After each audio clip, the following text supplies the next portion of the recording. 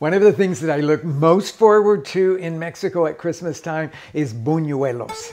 It's this very thin, crispy fritter, I guess you would call it. And we start with making a yeast dough. I'm going to tell you a little bit more about buñuelos in a minute, but we got to get the uh, dough started here. Um, this is a package of instant you know, active dry yeast. I'm going to put that into a bowl and add the half a cup of water of course, everything will be in the recipes connected to this video. Um, usually what we will do is to add just a little bit of sugar to help get this thing started. And it's just enough to kind of make that yeast come back to life. And we're going to just let that sit for a minute um, and sit for a minute to see that the yeast is active. This is a standard thing. Some people say you can skip this step, um, but I always like to make sure I, that the yeast is really active before I go on to making the whole dough so I don't waste anything in case it's not. Okay, so for the last 30 years, I've spent every Christmas in Oaxaca. And Oaxaca is known for these really famous stalls that have the buñuelos. Now, they make buñuelos that are huge. And I would never ask you to do that because it takes all kinds of special talent and equipment to do that with. So I'm going to show you how to make smaller buñuelos that are way, way, way more manageable. If you go over to Michoacan and you go to some of the big plazas that are in Morelia, the capital, or over in Pátzcuaro, you'll see these stalls there that have these huge, like 14, 15 inch buñuelos stacked up. Now, typically in Mexico, you will order them either what they would call mojado or rociado. Um, mojado would mean dipped into this piloncillo raw sugar syrup and pulled right back out. It's a little odd to most Americans because you take something crisp and you start to make it soft in this syrup a little bit like a sweet chilaquiles, if you can kind of wrap your head around that. Or rociado would just be that same syrup sprinkled over the top. Now, my favorite dulceria or sweet shop in Mexico City, one that's been there for over a century, they make buñuelos and they sort of reduce the syrup and spread that on top or brush that on top. And what they come out with is my very favorite buñuelo. So if you go to Mexico and it's Christmas time, ask where you can find buñuelos. In Mexico City, you go out south into Coyoacan where they have lots of street performers and things like that, and you'll find the stalls where they're making buñuelos right in front of you. Okay, so I'm looking down here and starting to see a little bit of activity. Some of the yeast is starting to what I would call bloom. It's just sort of popping up. In a couple more minutes, we'll be to the point where we can see that it's really very active. I'm just going to let this sit for an hour so that we can continue on with the dough for the buñuelos. I have weighed out a pound of flour. Many of you know that I love to work with weights because that gives me consistency, not only in baking, but just in regular cooking as well. If you don't have a scale to weigh out a pound of flour. Um, it's about three and a quarter cups, but it all depends on how you pack it into those cups. Um, so I'm going to take of my pound of flour about a half a cup of this. We're making what's called a sponge here. So I'm just going to stir the the flour now into this active yeast and water and a little bit of sugar mixture. And this sponge um, will be the flavor of what we're making here. Some people don't do this part of it. They just go ahead and put everything together and make their, their dough. But I have found that if you'll do this step and leave this set for an hour at least, then you're going to have a much more flavorful buñuelo. I'll tell you, if you're planning ahead, and probably if you're going to make buñuelos, you're planning ahead, do this the night before, put this into the refrigerator and let it slowly mature at that colder temperature overnight. And I'm gonna, uh, I'm gonna work with one that we actually started here uh, yesterday. Now's the time to transform this sponge into the finished dough. It's a pretty rich dough. It's gonna have a little butter in it. Uh, most of the flavor, I mean, most of the liquid in the dough is the eggs that I'm cracking into this bowl now. I'm going to use a small spoon here. about a teaspoon in there. I've got my small amount of butter at room temperature. I want these eggs to be beaten some before they go in. You'll see why in a second because the dough is kind of heavy. Okay, so now into this flour is going to go our active sponge. I can smell it's very yeasty and it's very bubbly. So we've got that. Then the eggs will go in next, beaten with the salt so that the salt dissolves. And then the butter will go in, softened butter. And I'm going to use the dough hook here. Now, if you're working by hand and you don't have a stand mixer like this, you'll just literally use a big spoon and mix it all together. And then you're going to knead it. So I always start these things off at a sort of slowish speed here until all of the flour has been moistened by the liquid. And then we're going to let this mixer go for about five minutes to knead it. If you're doing all this work by hand, you would knead for about 10 minutes until the dough is very smooth looking. Okay, after five minutes, this is what it looks like, and you can see that it's a sticky dough. If I just turn this off and I touch it with my fingers here, you could see how sticky that is. Well, that's not. We want it to be a soft dough, but we don't want it to be that sticky. So now on a low speed here, I'm gonna add a little bit more flour. I can tell you that it's gonna take probably about a, a quarter to a third of a cup more um, to work that in so that it's not just such a sticky dough. Soft again, but not sticky. I'm pretty happy with what we've got there, so I'm going to turn that off. Um, and then scrape the dough down. It's a heavy dough. You can see that. It doesn't look like a light uh, bread dough. Um, but because it's got eggs and butter and that sort of thing in it. Okay, so this I'm going to scrape now into a lightly oiled bowl. I don't know if you have a pastry scraper like that, but I really love it when working with just pretty much any kind of dough, partly because it goes up against the side of the bowl so well. And so I've got everything there. So when I say that I want it to be soft but not sticky, that's what I'm talking about is that I can do that with my hand and it doesn't stick to my hand, okay? But it's still real soft. If I put my hand completely in there, of course, it would stick to it. Uh, cover that with some plastic wrap and then I'm going to let that sit in a warm place until it's about double in bulk. That'll take anywhere from an hour and a half to two hours depending on how cold the kitchen is. I'll see you back when this has been risen. I thought we'd just take advantage of the time while the dough is rising to make this syrup. It is a piloncillo syrup. You could do this with dark brown sugar, of course, uh, but piloncillo has its own unique flavor because this is completely unrefined sugar. This is cane the juice out of just squeezed cane, sugar cane, that is boiled down, and it's not refined in any way, and so it makes these blocks of cone sugar. You can find these, of course, in any Mexican grocery store.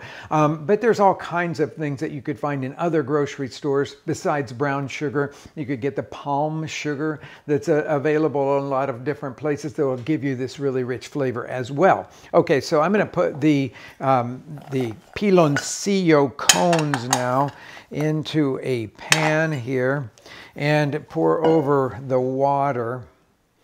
I put this pan over about a medium heat here. It's going to take a little while for the uh, the piloncillo to really melt here, so I don't like to go too quickly with it. Uh, flavorings that we're going to put in this are a couple of cloves, and then it's anise seed. And anise seed is going to take about a quarter of a teaspoon of anise seed, but that is one of the things that is really, I think, absolutely delicious and almost imperative in this kind of piloncillo syrup. A piece of Mexican cinnamon that we're going to throw in there. And to add that little wonderful citrus note, I'm going to put a big piece of orange peel in there. All of these things could be modified and everybody's got their own versions of these kinds of things. But when I think of this piloncillo syrup, I think of the aniseed as being one of the most definitive flavors in there. You don't like aniseed, you don't have to put it in there. I'm just gonna let this simmer and I'll show you what it looks like when it's reduced and really gotten thick enough that you can do what I'm looking for, which is to brush it over the finished buñuelos. We've got a very puffy dough. It's about a double in size there, and I'm going to turn it out onto a floured board here. Um, I always like to flour my hand to get it out of the out of the bowl uh, so it doesn't stick because it will have a different consistency than when you put it in there. It really does change quite a bit. And now I'm just going to press it out into a big rectangle and then divide it into 24 even pieces.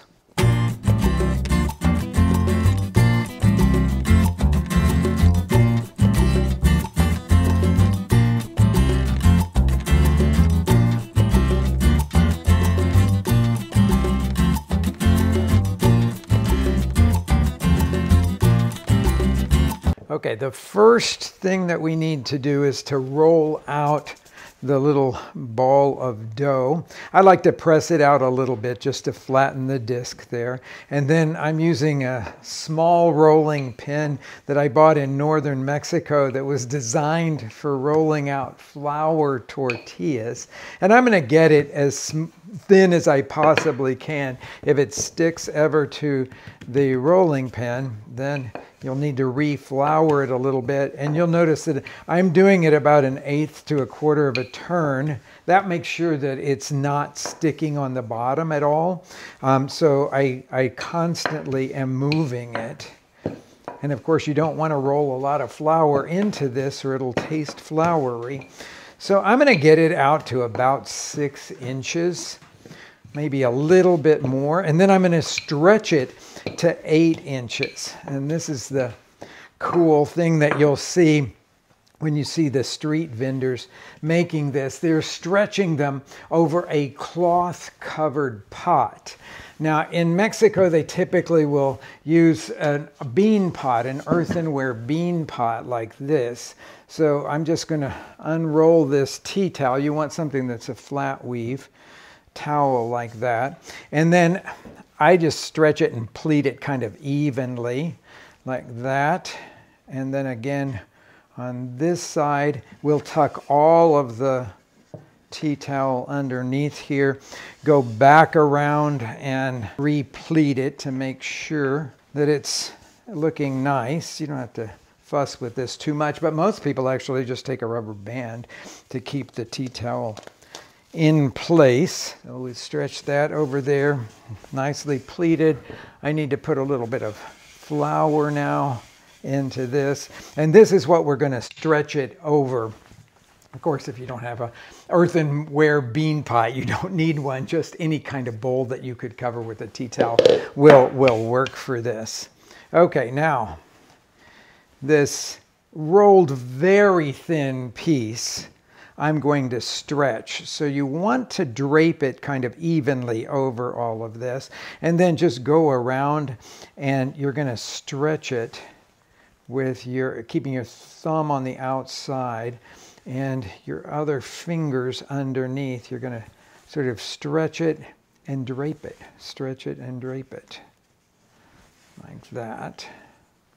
And what you're using is gravity to keep it secured on the other side until we have about an eight inch piece. So my hand span is about eight inches, so that's about the right amount there. And then we want to poke five or six little holes in it, like little quarter inch ones. That'll allow steam to come out as we are frying this. So I've got this at a 360 degrees right now. So I'm going to lay this buñuelo into the hot oil. And you'll notice right away it'll start blistering. You can see that the steam is escaping, but I'm using my tongs to kind of keep it submerged here. Okay. It'll take about a minute on each side. Okay, once it's gotten to a golden brown color, pick it up and drain all the oil off of it and then drain it on paper towels. I'm going to make a few more of these guys.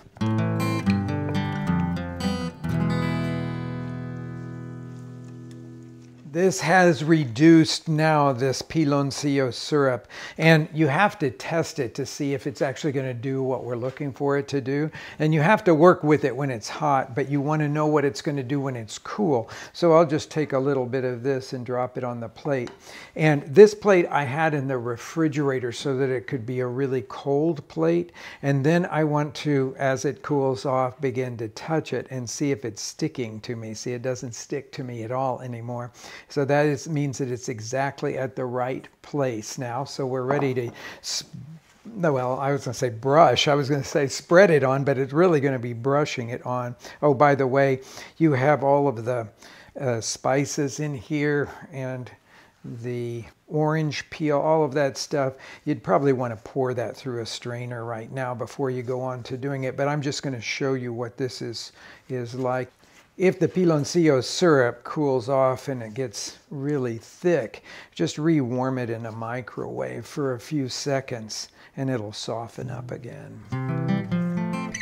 Of course, you're going to be making buñuelos for a big party, for a Christmas party. And even though I'm doing this in 2020 when nobody's having big parties, you got to know how to make these things so that you can do something very special, very traditional, muy, muy mexicano para celebrar la Navidad. I hope you'll tackle these things because they are so utterly delicious. Tacos de bacalao. Now, these will surprise you.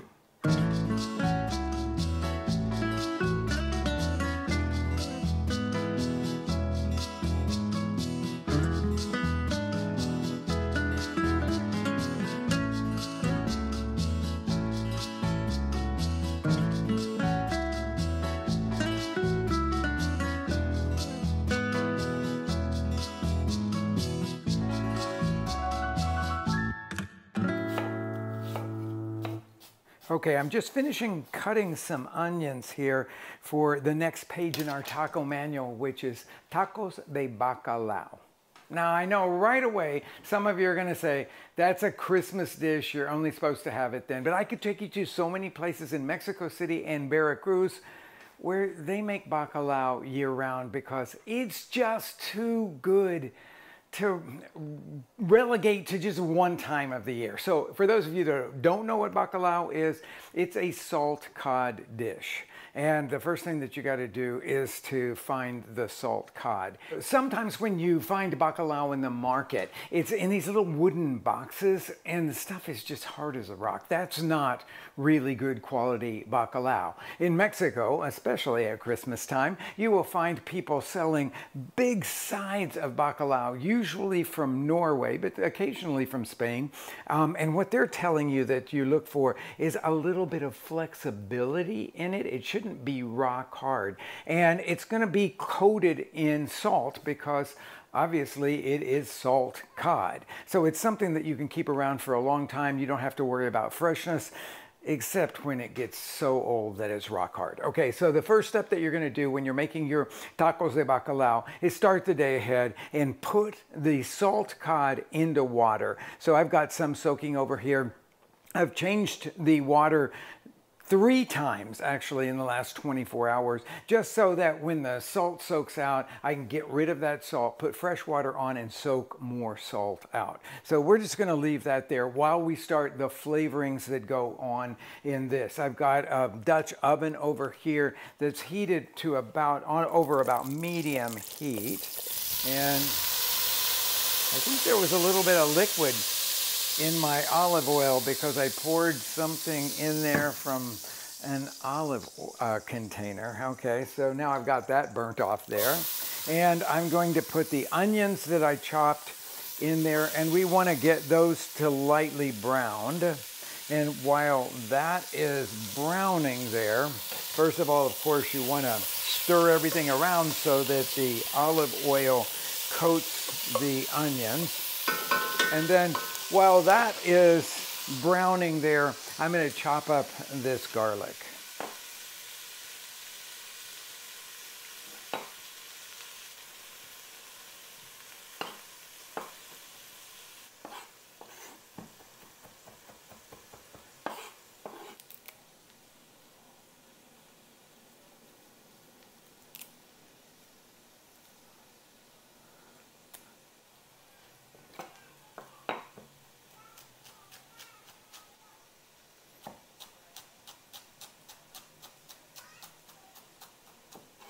After I did the garlic, I chopped up a bunch of parsley as well. Parsley is really the thing that flavors this, not cilantro, kind of interestingly enough, because these flavors are really very Mediterranean in their origin.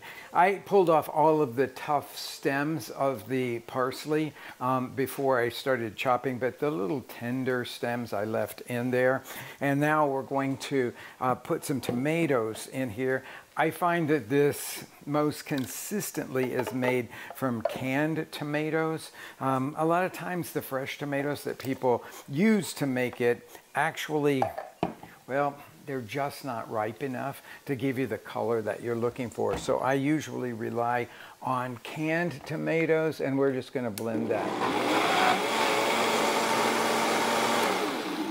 Now you'll notice I didn't blend it very much because I still want some pieces in there. That gives a really beautiful look to the tomatoes. These onions are not only really delicious smelling, but they're really beautifully browned here.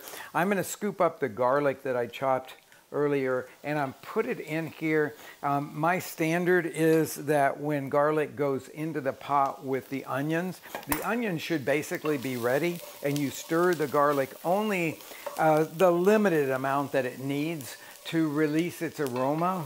I can already smell that beautiful garlic in there, but it usually takes a little, about a minute, maybe a little bit less. And then I am going to add to this pot those coarsely pureed tomatoes. And I'm going to turn up the heat a little bit here and then reduce this until it's almost the consistency of tomato paste. Okay, these tomatoes are almost cooked down to where I want them to be. That concentration will bring out sweetness and you're gonna want sweetness to balance the flavor of the salt cod. While this is finishing, I'm going to take the soaked pieces of salt cod and put them into boiling water and I'm going to blanch them for about five minutes. This amount of time is not crucial, but it's just to bring out the last bits of the salt that was used to preserve the fish. So after five minutes, I will transfer that cod over into this tomato mixture. Cod has poached now. It shouldn't fall apart or anything like that, but you'll notice that it will give off a little bit of an odor of dried fish, which is also a nice thing to kind of blanch out of it at this point. Um, and now I'm going to add all the other flavoring ingredients that are really classic in bacalao. I've sliced up some green olives. Manzanillos are the main one that you will find used in Mexico. Pickled jalapenos, buy a jar uh, or can of them, cut them in half lengthwise, scraped out the seeds, and then slice them lengthwise. Those go into the pot. We've got hierbas de olor, which are thyme, marjoram, and bay that oftentimes is sold fresh in Mexico in bundles. I'm using some dried here. And then we have that parsley that I've already chopped up and we're going to add now some water. This will take um, about a cup or so and I'm just going to stir all of that together. We want the consistency basically of marinara sauce. That's what we're looking for here. So everybody knows what that consistency is. So add water to hit that. And now I'm going to turn the heat down a little bit, put the top askew here. And now we're gonna let this simmer for about 20 to 30 minutes until all of that cod starts to fall apart. This is smelling really delicious and what I need to show you is how the salt cod has now cooked enough that it's really flaking apart. Um, so that's what I'm going to do now is I'm just going to flake it apart using this wooden spatula here. Um, I want to break it up into fairly small pieces um, and that's not hard to do and doesn't really take very much time at all. But just break it up and then that will be the size pieces that are in your taco de bacalao. I think I've gotten most of it done here. While it was while this was cooking, I chopped up a whole bunch of potatoes, those little red skin boiling potatoes. That's the sort of waxy texture that I really love in this kind of a preparation. Um, and potatoes and bacalao are really, really amazing together. So I am now going to put these potatoes in on top of it. Then I'll stir them together, put the top back on and let that cook for about 15 minutes or so, just until our little small diced potatoes are completely cooked through. I'll meet you back in about 15 minutes. This is looking really good. I'm going to stir it a little bit just to bring everything together. It should hold its shape in a spoon. Should be able to stir through the pot and see the bottom of the pot. It's time to taste it now and see if it needs any salt. Now, one thing that you have to know about this is that salt cod will still have retained some of its salt, so you don't want to oversalt this. That's why I taste it and mmm, it's almost perfectly salted, just a tiny bit under. So I'm just going to sprinkle a little bit of salt over the top of it there. Stir that in. And we're ready to make these delicious bacalao tacos. Okay, a couple of fresh tortillas here on the plate. And then I'm going to take some of the of the bacalao and pile that on. Now, I like to add a little bit of extra spice to it, but not in terms of a salsa. This has all the salsa-like ingredients already in it, and so we don't really need that at all. So I am going to put some of these pickled jalapenos over the top. Absolutely one of my very favorite parts of all of this. And that will do the trick. And then we've got tacos de bacalao for any time of the year.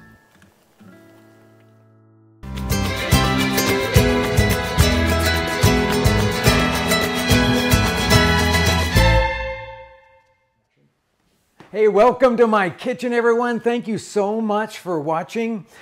I've got a really big deal for you today. I'm gonna make mole with you, but I'm gonna make mole what I call the beginner's mole. Now this isn't, if you've seen a recipe that I've done before that's called the, the peanut mole, that's more like a pipian and super, super simple and very delicious. I have to say, I turn to that recipe all the time. But if you wanna really tackle an honest mole, like the classic mole poblano with three different dried chilies in it and so forth, well, you know, you really have to go through certain steps.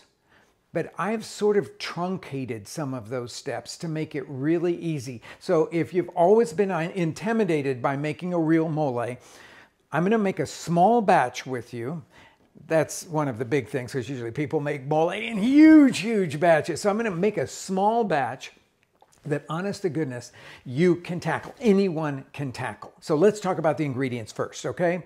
So we have three different dried chilies here. So we have uh, this is an, a mulato chili and this is the ancho chili. Now, they look kind of different in size, but lots of times they look almost exactly the same in size. The mulato chili is always darker and the ancho chili is redder.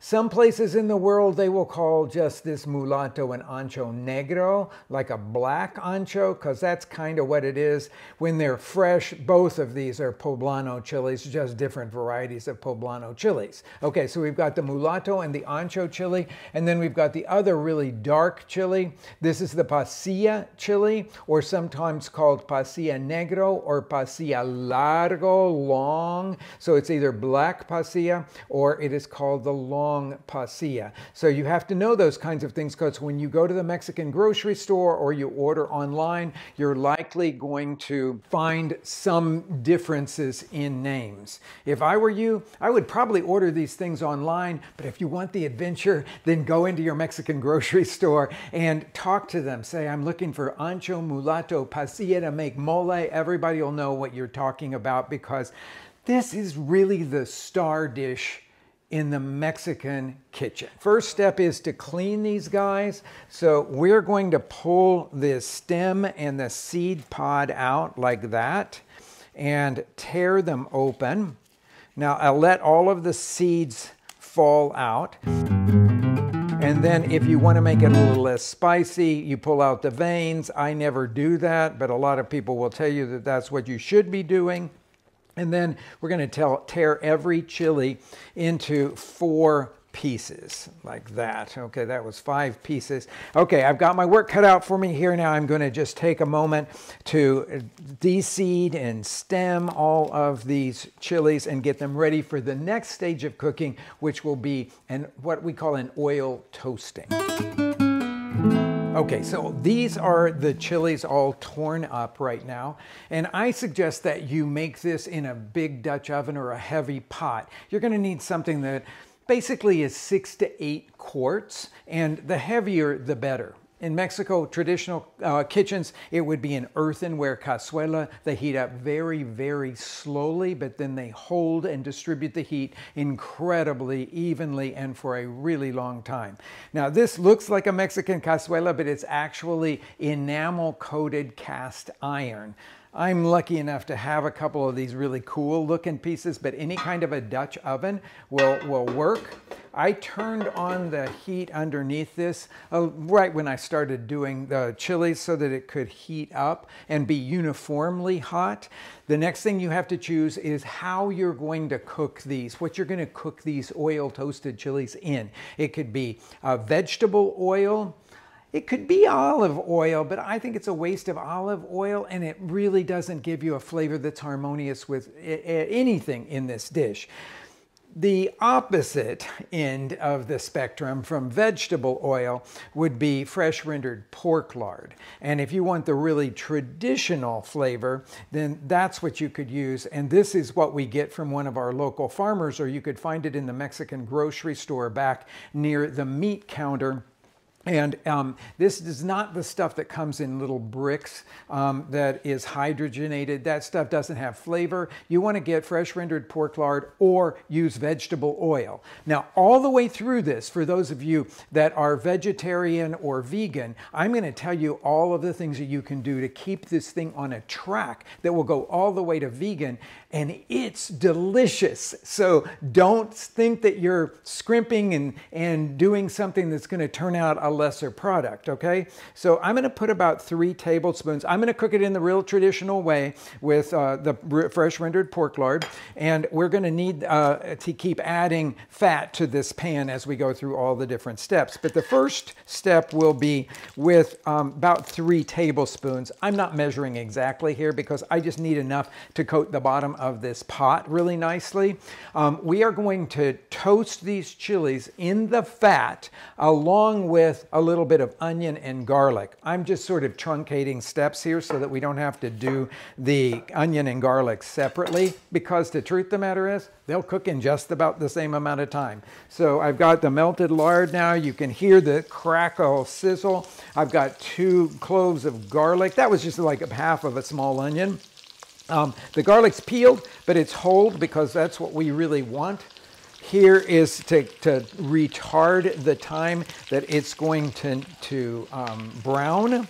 Okay, so now I've got the chilies in on top and I'm going to use a, a, wooden spatula just because I think it works really well here.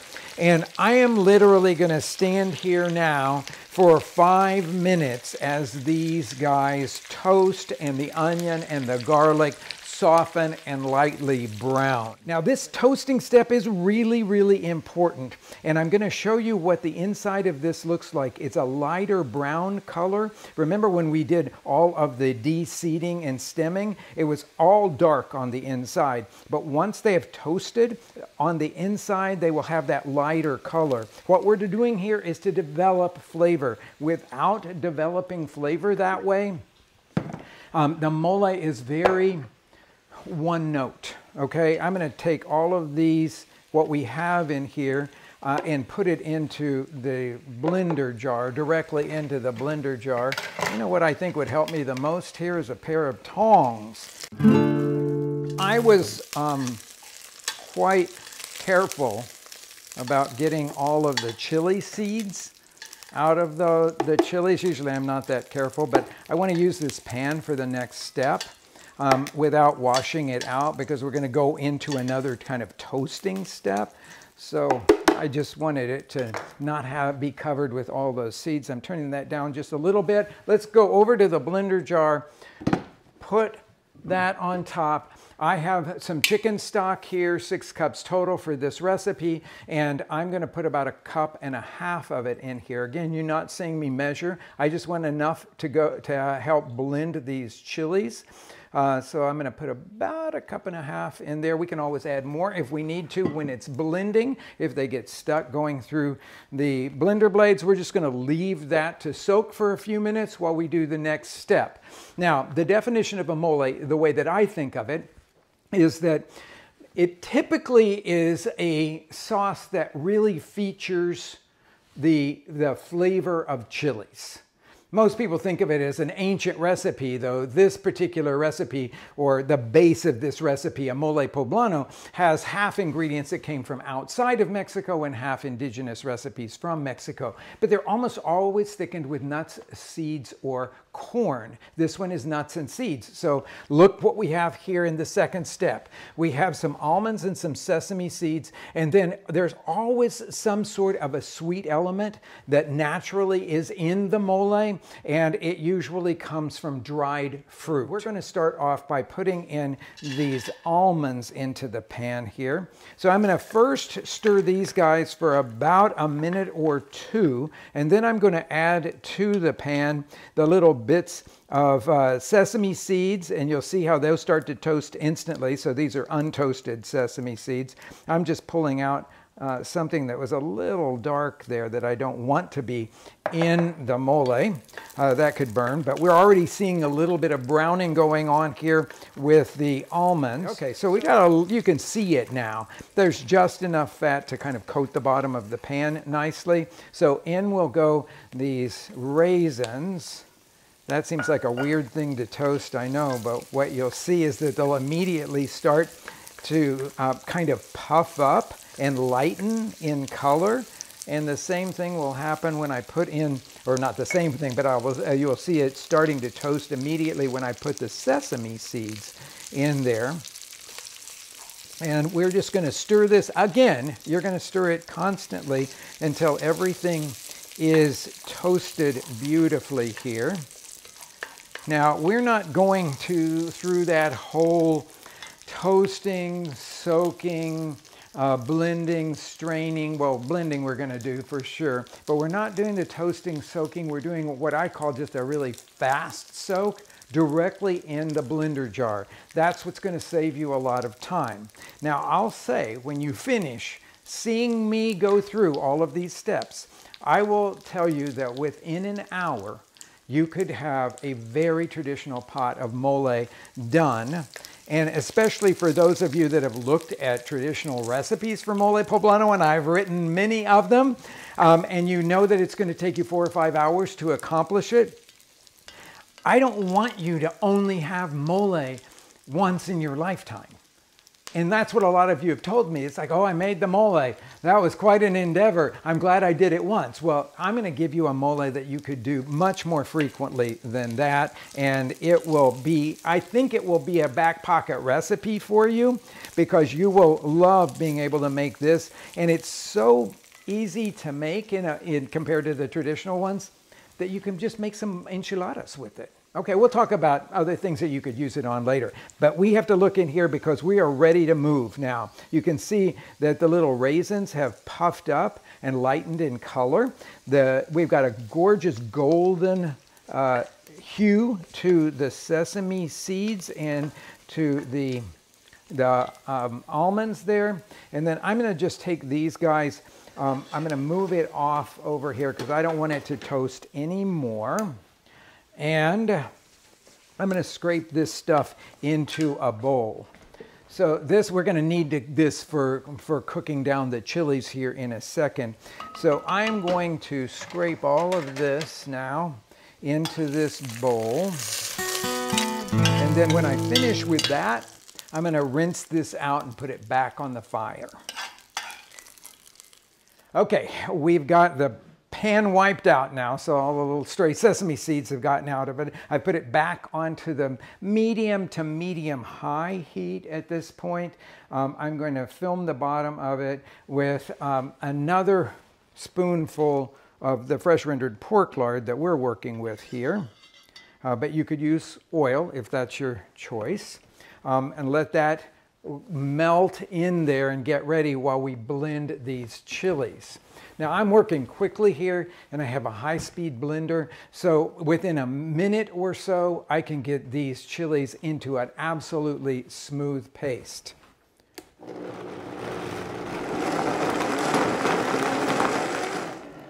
Now, if I was working in just a regular um, standard issue blender, um, I would want to strain this mixture because probably some of those chili skins wouldn't get blended. Um, and it would probably take me two or three minutes to get it really, really um, to the point of being velvety like this. I mean, just look at that. It looks like just like melted chocolate. That's kind of what I always think about with this stuff. But I don't have to strain it. I'm going to put it into here. You should hear a sizzle when it goes in there, like that. All of it will be scraped out and in here.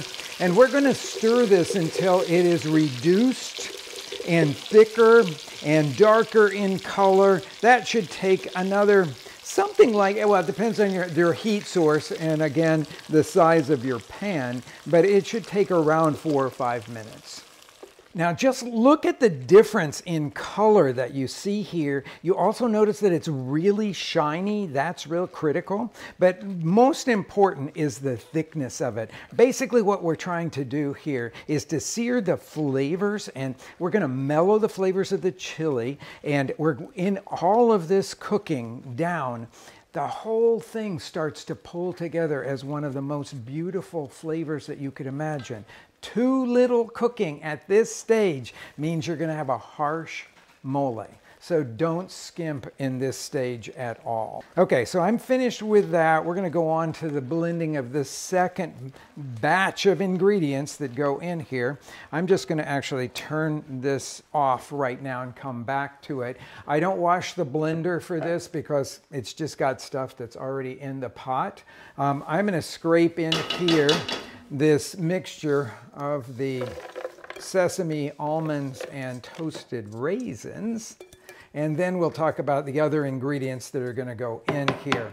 So we have on this last tray in front of us here, um, some, uh, some tomatoes. Usually in a traditional recipe, they would ask you to roast some tomatoes. Um, this is fire roasted tomatoes in a can. It's about three, two thirds of a 15 ounce can, about a cup of tomatoes. And then those are gonna go in here. A couple slices of bread. This is one of the other thickeners that is very common in a, a classic mole, like a mole poblano. Some people would also put a toasted tortilla in here. So so you could swap out a couple tortillas for one of those pieces of bread if you wanted to. And now we're on to the spices, which really is what makes this mole quite unique, uh, or makes mole unique. And it's black pepper, cinnamon stick, cloves, a bunch of stuff that's sort of tasting like it's baking spices in here, and then anise seed. And I'm going to crush those in the Mexican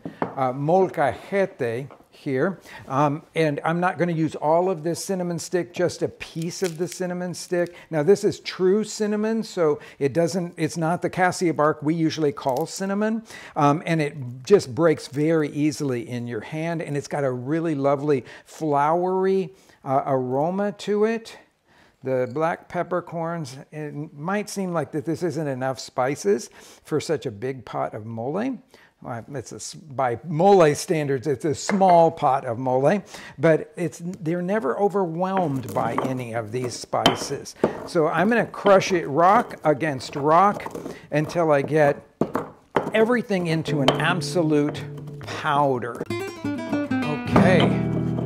I'm just about there. And I tell you, when you make this mole, you are going to be in heaven right now. The smell of the cooked down chilies and these fresh ground spices. Of course, if you don't have a mortar to work with, then you're going to probably use some pre-ground spices. But if you do have a mortar, take the time to grind them fresh. And then they're gonna go right into the blender jar. We've got some Mexican chocolate. We'll come back to that in just a little bit. Onto the blender base now, this is all going to go. And I'm gonna add another, about a cup and a half, just enough to get all this mixture to go through the blender blades. Put the top back on here and blend.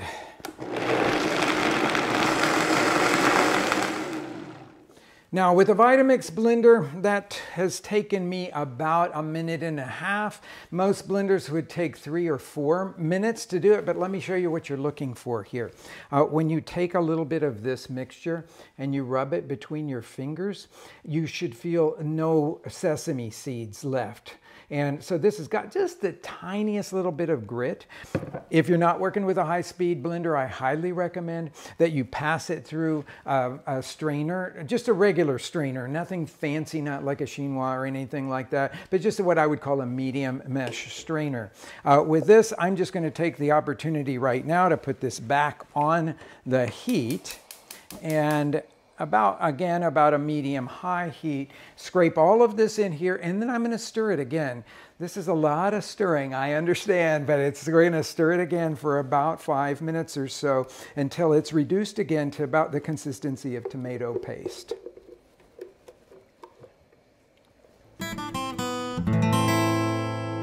We're back to looking like melted chocolate here. If your mixture is really well blended, that's actually what you should be seeing here. I know this is a lot of stirring, but I will tell you that it is what makes this thing come together in flavor. Um, I brought this uh, spatter screen out to show you. Some of you may want to do this spatter screen over just to catch any little flying things. But if you're stirring it pretty vigorously through the whole thing, there should be minimal uh, spattering with this thing. So, okay, now the last thing that we're gonna do here is to add the rest of our broth to this. You, well, let's just look, come on in and look at it because you got to see what the consistency of it. I said it's as thick as tomato paste again, and um, it's very shiny. Uh, that's all the fat that's in here starting to separate out. Fat that comes not only from the oil or lard that you're cooking this in, but also from the sesame seeds and the almonds.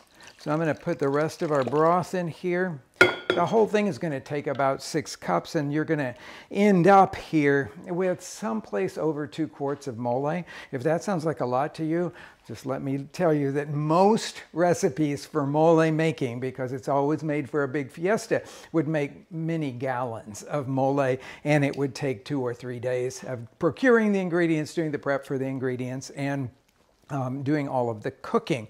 And then, of course, mole is typically allowed to simmer for quite a long time and often served the day after because just like with any great stew, flavors develop and you can taste more nuance of things when you have it the following day. B freezes beautifully, so any leftovers can go into the freezer. What you'll want to do after you've defrosted it is to put it back in the blender and just reblend and it'll just come right back together. So it's a very very useful thing to have in your repertoire because within an hour or so of now, and I do tell you, you do need to have all your ingredients out. Don't be running and looking for things during the preparations. Always make sure that you measure out all of your ingredients and have them on the countertop to get this to go well because it's a lot of stirring and cooking. So you're really busy through this whole thing. I would say leave this on to simmer a minimum of an hour longer if you can, preferably two, three, four hours. Put it over a medium low heat. And then this is one that um, I made yesterday. And I refrigerated it overnight because we have to talk about seasonings here. You'll notice a little bit of oil separating out on the top. You can just bail that off with a ladle if you want to or stir it back in. The richness on your palate of a good mole comes from having the right amount of fat in, in it. So I just like to stir it back in. You could use a whisk or a spoon to do that. Um, so if it has gotten thicker, then say, I, I would say like a cream soup consistency. Some people like their moles thicker than that. I like them sort of cream soup consistency, but this one's thickened up just a little bit. So I'm just gonna thin it with just a little bit of water, or you could use some stock. Now, as I was telling you before, you can make a perfectly delicious vegan mole just using water or, or uh, vegetable broth through the whole cooking. I actually like water in this because I think it allows all of that complexity of the chilies, the onions and the garlic, the tomatoes, all those spices, the bread thickening, all of that stuff goes together to create one unique mole flavor. And I like to highlight that a lot of times. So to tell you the truth, lots of times I make it with water because I think that would work. Then you can serve it to your vegan friends and your meat eating friends. Just think about having uh, grilled chicken breast uh, with this mole on it or putting it in some enchiladas um, that have some roasted vegetables in it. Or maybe you've just grilled some eggplant and you spoon this over the top of it. Oh my gosh, it would be like one of the most glorious meals of your life. But we have to get the seasonings right. And this is where a lot of people stumble. They don't know how to season it. There are two seasonings that go into it, salt and sugar, and you cannot leave either one of them out. It's very essential that you season it first, I say first with salt. And remember, we've got like two and a half quarts of mole here. So it's going to take a fair amount of salt just to get it started here. So I'm going to start with that part of it. I've seasoned a lot of pots of mole in my life. And so it's, I know kind of where to start, but um, in the recipe that will accompany this video, I will let you um, I will give you the ideas as to how much to start with. Now, that's not going to make the flavors all unified. I have to get the sugar in there to do that. But I first start with this, the salt flavor. And, and I think I hit it almost exactly right. Remember, if you're working with uh, salted chicken broth or salted vegetable stock, um, you're going to have to be careful because you will already have a dose of salt in this during the, the simmering period. Okay, so I think I hit it right. And now I'm going to put in some sugar. Now, this will probably take more than what you think, and you're not ruining the sauce by putting sugar in it. What you're doing is bringing out the elements, the fruity elements of the dried chilies. Remember, Dried chilies are a dried fruit. And you are wanting to bring that forward by the addition of the sugar here. For those of you that um, think sugar is evil, yes, you could possibly use something like agave syrup or one of the other kinds of sweeteners that you like to use, but you have to add a sweet element. Mole should be slightly sweet, and richly salty. Both of those things sort of on a tightrope back and forth. I'm getting really happy now because to me, this is one of the most glorious dishes in the entire world. And to be able to create it, to be able to continue this tradition of making mole, um, and who knows how it all came together over many, many centuries but it's something that deserves to be made time and time again and shared all over the world because really this is the crowning glory of Mexican food. You might want to use it in different ways than what they would traditionally be used in Mexico over some poached chicken or some turkey, perhaps. Um, I love this mole on grilled swordfish. So think about things that a rich sauce like this could enhance. But it's a robust sauce. I love it on pork. Pork is absolutely delicious. If you grill a really beautiful ribeye steak, this can be absolutely wonderful on it. So you can think outside the box. At the same time, you're respecting the tradition of making a really world-class mole in, in just an hour flat, basically. So get in the kitchen, have this experience, fall in love with what is a very traditional flavor that's been, been developed by cooks over centuries and centuries. Have fun cooking. Chocolate. I forgot to talk about chocolate. We didn't ever add the chocolate to this pot. When you add the last addition of the broth, you put chopped Mexican chocolate in here. A lot of you would know that as sort of Abuelita uh, brand or one of the Ibarra brands or something like that. Um, there are a lot of different brands of Mexican chocolate, but you have to think of it as a seasoning that goes in here. This has not become a chocolate sauce, even though it is seasoned with just a little bit of chocolate. But in its natural state, of course, chocolate is bitter and it makes this sauce so beautifully complex, but never enough of it in there that it's going to make it taste chocolatey, just complex. Hey, welcome to the kitchen today. It's all about black mole. I can't believe I'm really doing this because I have never actually done a video of how you make black mole because this is this is the the thing that it's almost like the holy grail of Mexican cooking. And for somebody that's not raised with it, not taught by the grandmother how to make their version of black mole, it's really hard to find out exactly how to do it. Reading a recipe, which I did for years and years and years, um, it didn't give me enough information. And then I started going to Oaxaca every single year and tasting it and talking to people and watching people make it. I did that for 10 years before I actually thought I got it right, got it right enough to put on our restaurant menu. And then we haven't taken it off since. So let me show you what I've learned by many, many trial and error attempts to make it and lots of time with Oaxacan cooks. So it's not hard. All you have to do is, first of all, have the patience to do all of the prep. Okay, that is the, the, the thing that I will tell you. And I always recommend to everybody divide it into three days. You're making black mole, you're not making it for Wednesday night dinner, it's an occasion. So think about it, get your ingredients together, and on day one, do the basic prep. I'll show you how we go through that. Day two, you're going to blend and fry the chili paste, blend and the nut mixture and add that to the chili paste and cook that down and then put some broth in there and simmer it. Straightforward. Not hard, but I'm going to show you the tricks that I have learned to doing it well. Then on the third day, it will have mellowed and you can come back and adjust the seasonings and serve it and arrive at your big event rested enough to really enjoy it, not having done all of that prep in one day or trying to do all that prep in one day.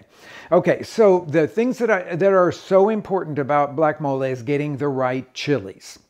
You can't do it without the right chilies.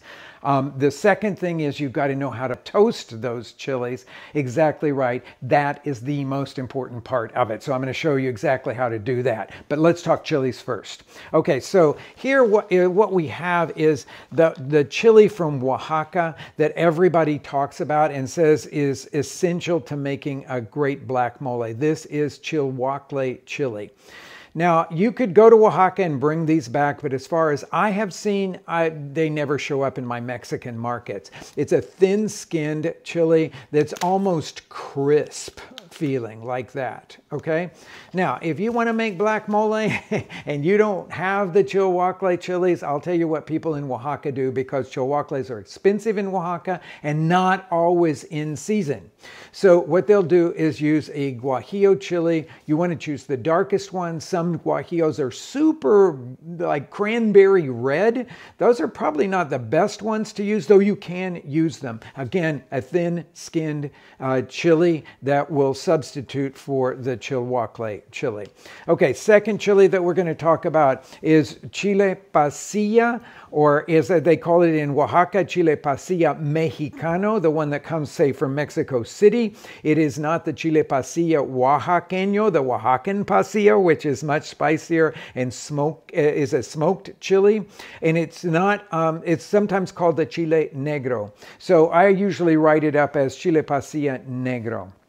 The last one here looks like an ancho chili, but it's not. It's the darker version of an ancho chili. It's a mulato chili.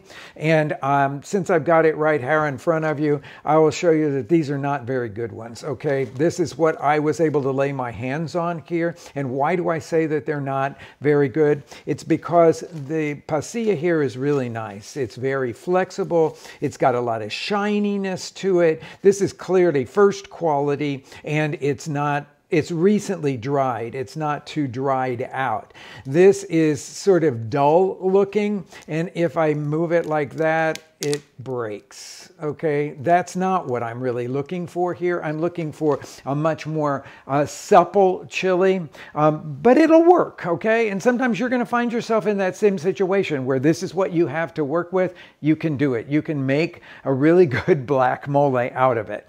So the first step, of course, is to stem and seed all of the chilies. So with the chilhuacles, um, that's going to amount to pulling the seed pod out. It may, the as you're doing that with one of the ch chilhuacle chilies, they may uh, break into smaller pieces, but what you really want is kind of flat pieces for the toasting part of it. The chile pasilla, that's really easy to work with because these are such beautiful pasillas here. Um, I tear them open. Some people use scissors on it or a knife, and you could feel free to do that same thing. Um, I just open them up and let the seeds fall out. Now, this is the point at which you can pull all of these veins out. That will make this, this black mole less spicy. So that is where all of the heat is in the chilies. Um, but you really do want to get most of the seeds out of here. If there's a stray seed or two, it's not going to be the end of the world. But we're saving these chilies because they're going to add texture and color to this black mole.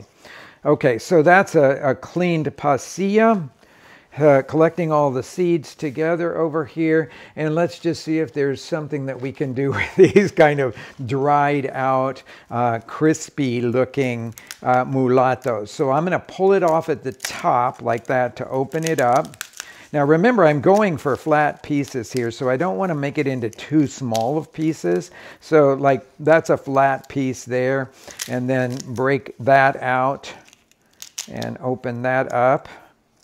Take another piece of it, shake out the seeds on these, and then just tear it open without tearing it into too many too many little pieces. Those are going to be harder to toast. But you can see that this is like, this is, uh, well, it's labor intensive work when you don't have the best quality chilies. Otherwise it goes really fast as it would, as it did with the pasilla chilies that you've got there. Okay, I'll meet you back here when all of these are cleaned and we have collected all of the seeds together. Okay, I'm going to take some of these pasilla chiles, and I've got the heavy skillet, 12-inch skillet. You really need to work with a heavy 12-inch skillet. I recommend working with uh, cast iron because that's what most of you will probably have. Um, and I'm going to make one single layer of the chilies, more or less. I mean, I'm not being very meticulous about that, but I'm going to lay them in here. Um, I've got it over medium heat, but I let it heat up for about 10 minutes or so so that it was evenly hot. In Oaxaca, this would be a clay griddle that this would be done on. And I am going to uh, just stand here and turn them until they are deeply toasted. Now, you hear me clearing my throat? It's because I didn't open a door. I didn't open a window. I didn't turn on an exhaust fan, but you have to. Okay, that is super essential in doing this because capsaicin is volatile into the air. And as you start doing the toasting, you're going to want a lot of air circulation in your kitchen. Otherwise, you'll find yourself just coughing and coughing. Now, come down here and look at this. This is really essential. Do you notice how that these have turned to a kind of tobacco color on the inside? They have turned from that completely dark interior to a more tobacco looking color of brown. And we are going to just turn them here.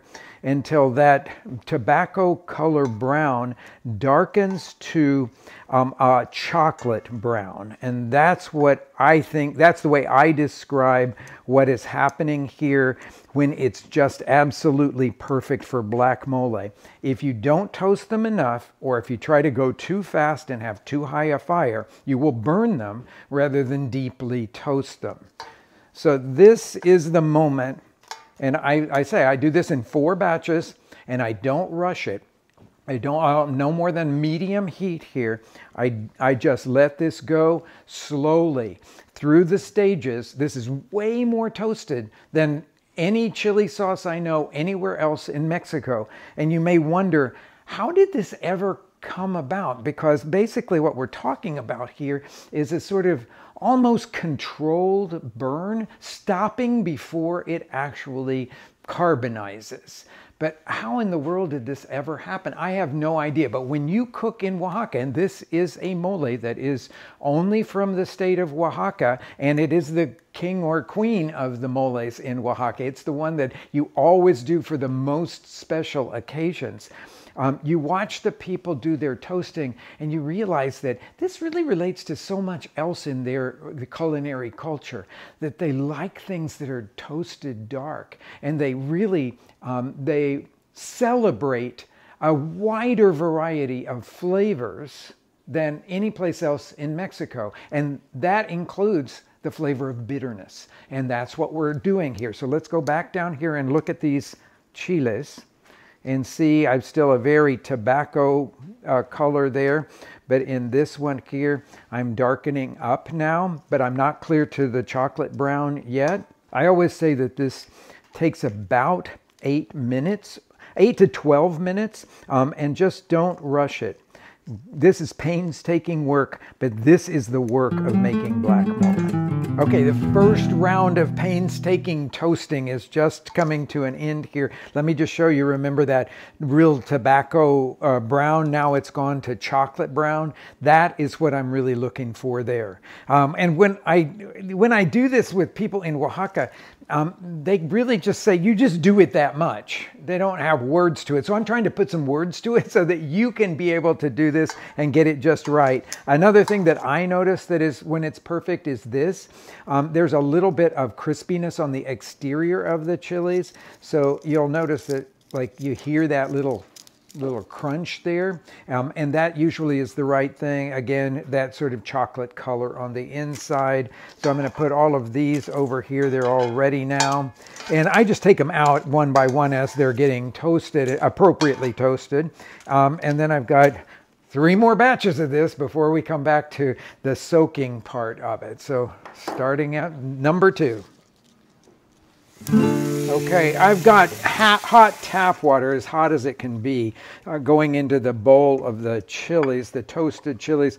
I like to put a, a, plate like that on top just so that they are submerged and they will rehydrate evenly. Now, it's 45 minutes that I think is the perfect amount of time to soak them too little time soaking and they won't because these are very deeply toasted chilies.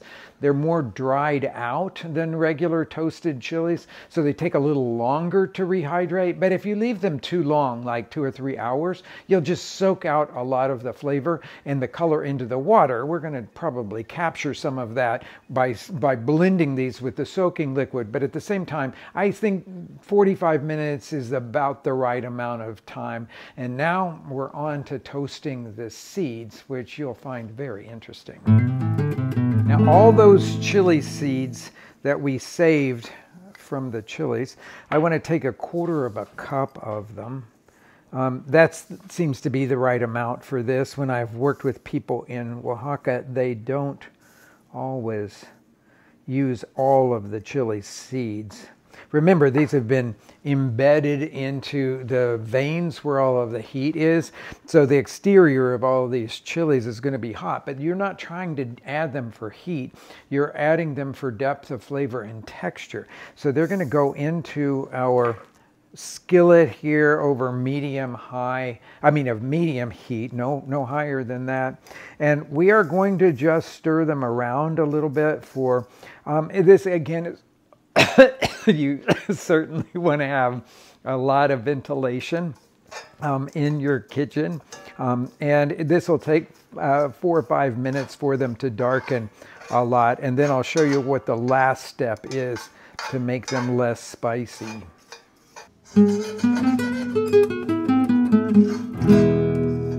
Where you're just about there, you can see that they're almost black.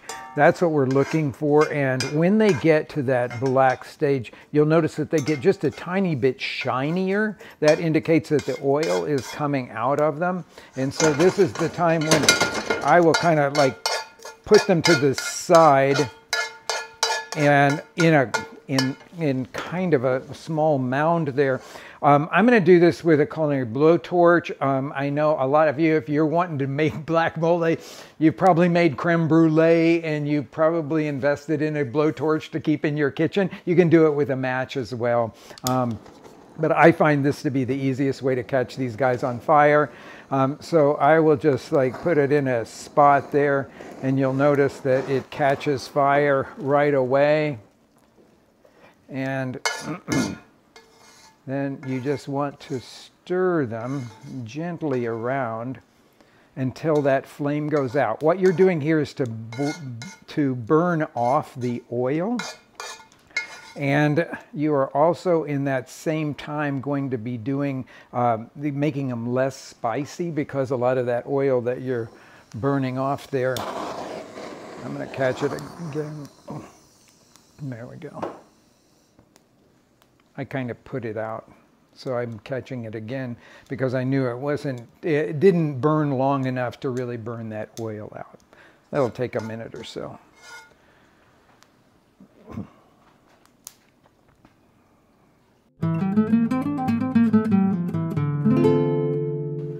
Okay, the flame has gone out. I'm going to scrape them into a small bowl. Some people in Oaxaca actually pile the burnt seeds onto a tortilla and then light them and burn the tortilla with the seeds. Um, I don't find that that's the easiest thing to do, especially in my American kitchen. I'm going to put some water on these guys. You hear them sizzle in there. This will just get the ash off of them. We'll let them soak for just a few minutes. And now we go on to the toasting of all the rest of the ingredients, the toasting or roasting. And I will tell you, that stuff is child's play compared to what we've just been through. With the skillet still on medium heat, add the untoasted almonds. They could be skinless or with skin on them. Stir them around for about seven minutes or so as they darken, richly darken. Then scrape them into the bowl that you're going to put everything else into.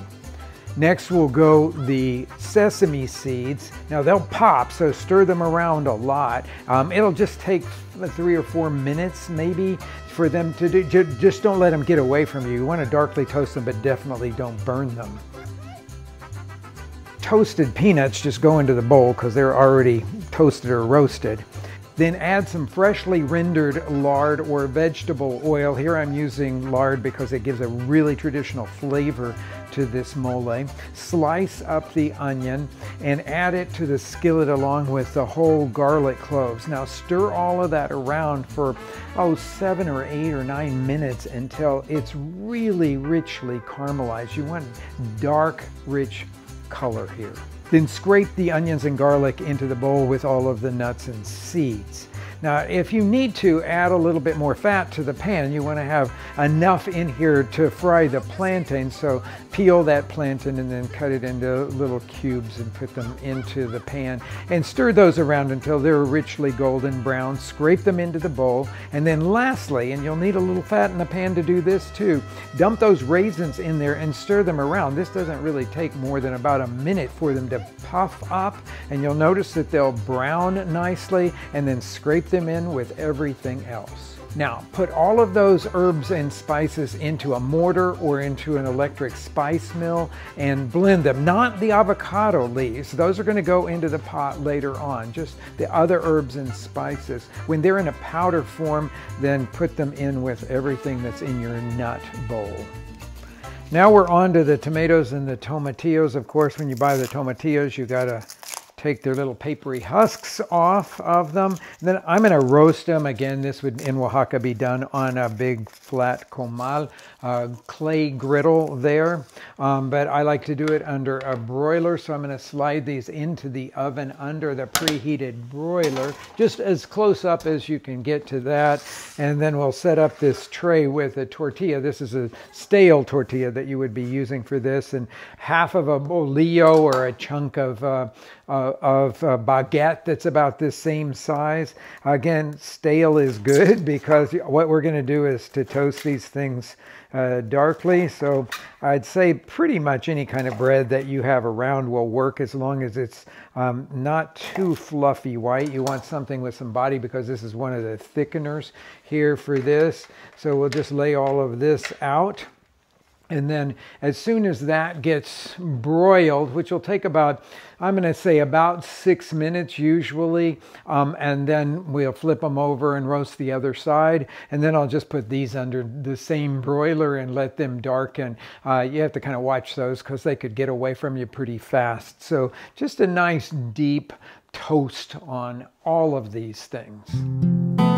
Okay, we're down the home stretch of all of this toasting and roasting and sauteing. I'll put the roasted tomatillos and tomatoes and all of their juice into the nut mixture bowl here. The same thing with this toasted bread and tortilla. To that, I'm I'm going to add about three cups of broth here. I've got seven cups measured out because that's usually what it takes for this. So I'll put about three cups of it in there. Yeah, that looks like we hit that on the head and then just mix all of this. I know it doesn't look like a very attractive mixture here, but when you taste it, every single element here is going to contribute something really important. Now, I've done a pared down version of black mole for you. But when I was doing all of my research to sort of come up with what I thought would be doable for you, I came across recipes that had 40, 45 ingredients. I think this is what this is very close to what we do in our restaurant, and I think it's uh, imminently doable. Okay, so with that up there, let's talk about chilies now. Um, oh, I've got my chili seeds here. I strained them out after a couple minutes there, and those are going to go into that bowl as well.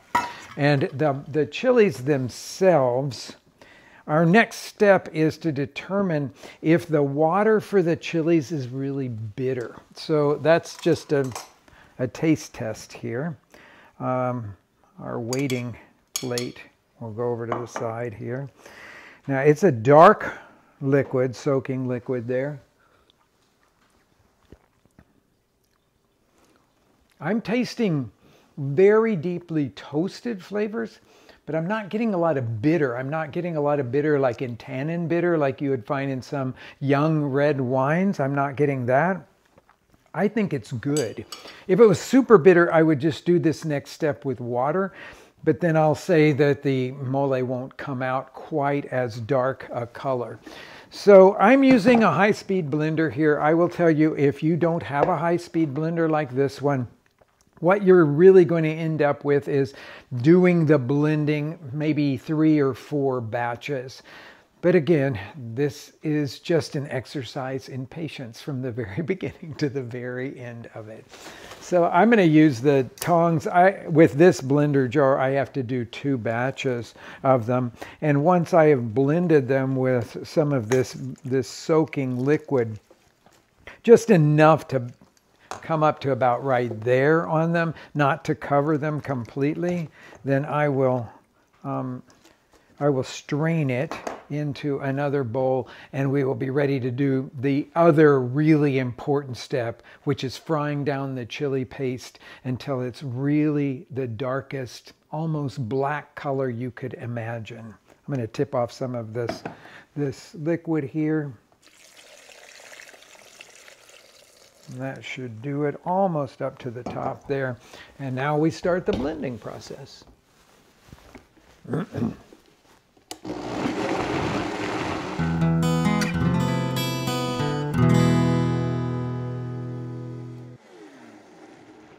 You can tell by the color of it that we really did a good job on the toasting of those chilies because this is that really, really sort of bitter chocolate color and I'm using just a medium mesh sieve. Oh, by the way, I wanted to say one thing.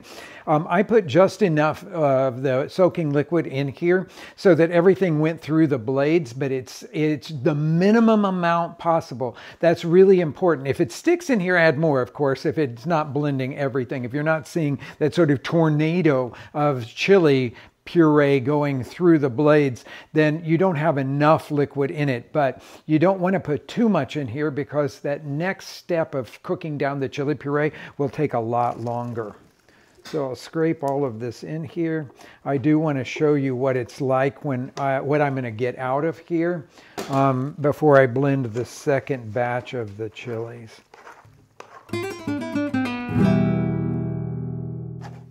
Okay, I started the blender at a very medium speed and then I kicked it up to the highest speed of the blender and let it go for several minutes.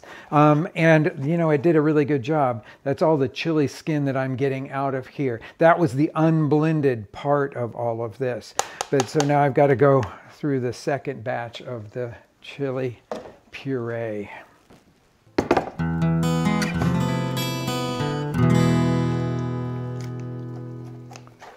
Second batch of chili has been pressed through our sieve here. Just again, very little of that. I'll set that to the side.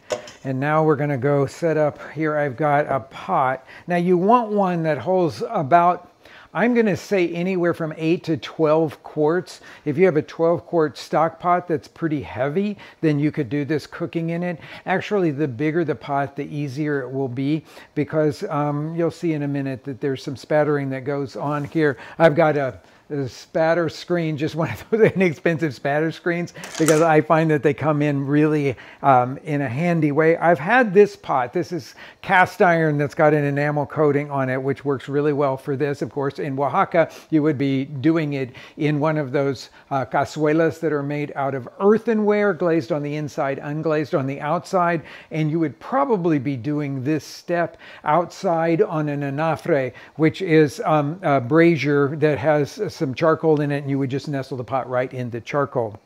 I've got this over medium high heat. I'm going to put a quarter of a cup of the uh, fresh rendered pork lard in here. Um, now this this may look like a lot when you're measuring it out. I know what it's supposed to look like in the pan, so that's what I'm doing here. Uh, but you want enough fat here to um, to do this frying of the chili really well. Um, and that's really important whether you're using oil or lard for this. You want to make sure that you have a really nice coating. I'm going to say it's about an eighth of an inch thick all over the bottom of this pot. And then I'm going to add the, I want to make sure that the chili, I mean the fat is hot enough that I hear a sharp sizzle. And then I'm going to put it in here it will probably start spattering right away, but that spattering will kind of go away for a second as this is coming up to temperature.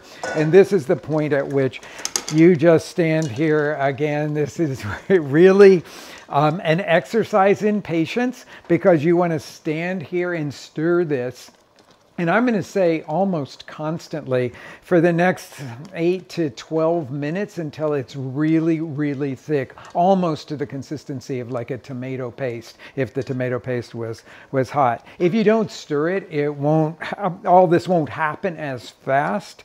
Um, but I say just keep after it. Stand here and stir it and stir it and stir it, and it will reduce and thicken. This is the most well, one of the most critical steps. The toasting of the chilies is the other really critical step, but the cooking down of the puree is super important. Then once that's finished, we'll be on to blending the nut mixture and adding that to this. You can see what I mean about splattery here, but I got the splatter screen to minimize as much as I can. It's very thick now. If this were to cool off, it would be almost the consistency of tomato paste. Some cooks like to cook it in a little bit more fat than I did.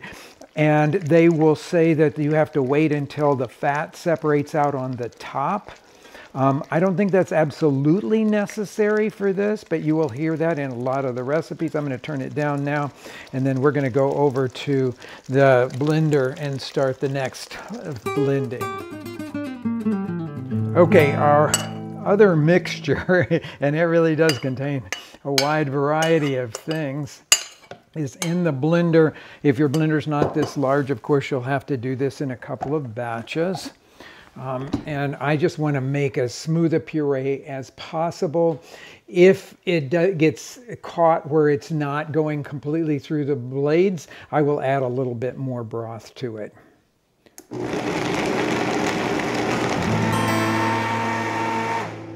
Okay, that was a, a, lot of blending there. Now, this particular blender comes with this um, pressing stick in there. And I don't know of another blender that has it, but it does keep help me to keep everything moving in there because it's a fairly thick mixture. Of course, I'm going to press it through a strainer now. Again, a medium mesh one, not a real fine strainer here. And I will need to have a spatula to get it through. You want to run the blender as long as you can stand it until this gets to be a very smooth mixture. Yet we always strain it in order to get any pieces out that haven't blended well. Sesame seeds are pretty hard, so they're the last things that will blend up smoothly and you may catch some of them in your strainer.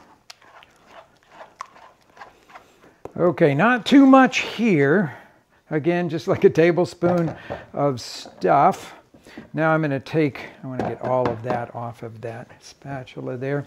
And then I'm going to remove our spatter screen and add this to the pot. My oil is beginning to separate out there, as I had talked about before. Stirring constantly through that first section not only makes it go faster, but it also makes sure that nothing sticks and burns on the bottom, which I think is really important. Okay, all of that is in the pot now. I had turned this down after I had reached the right consistency in the black chili paste that we have here.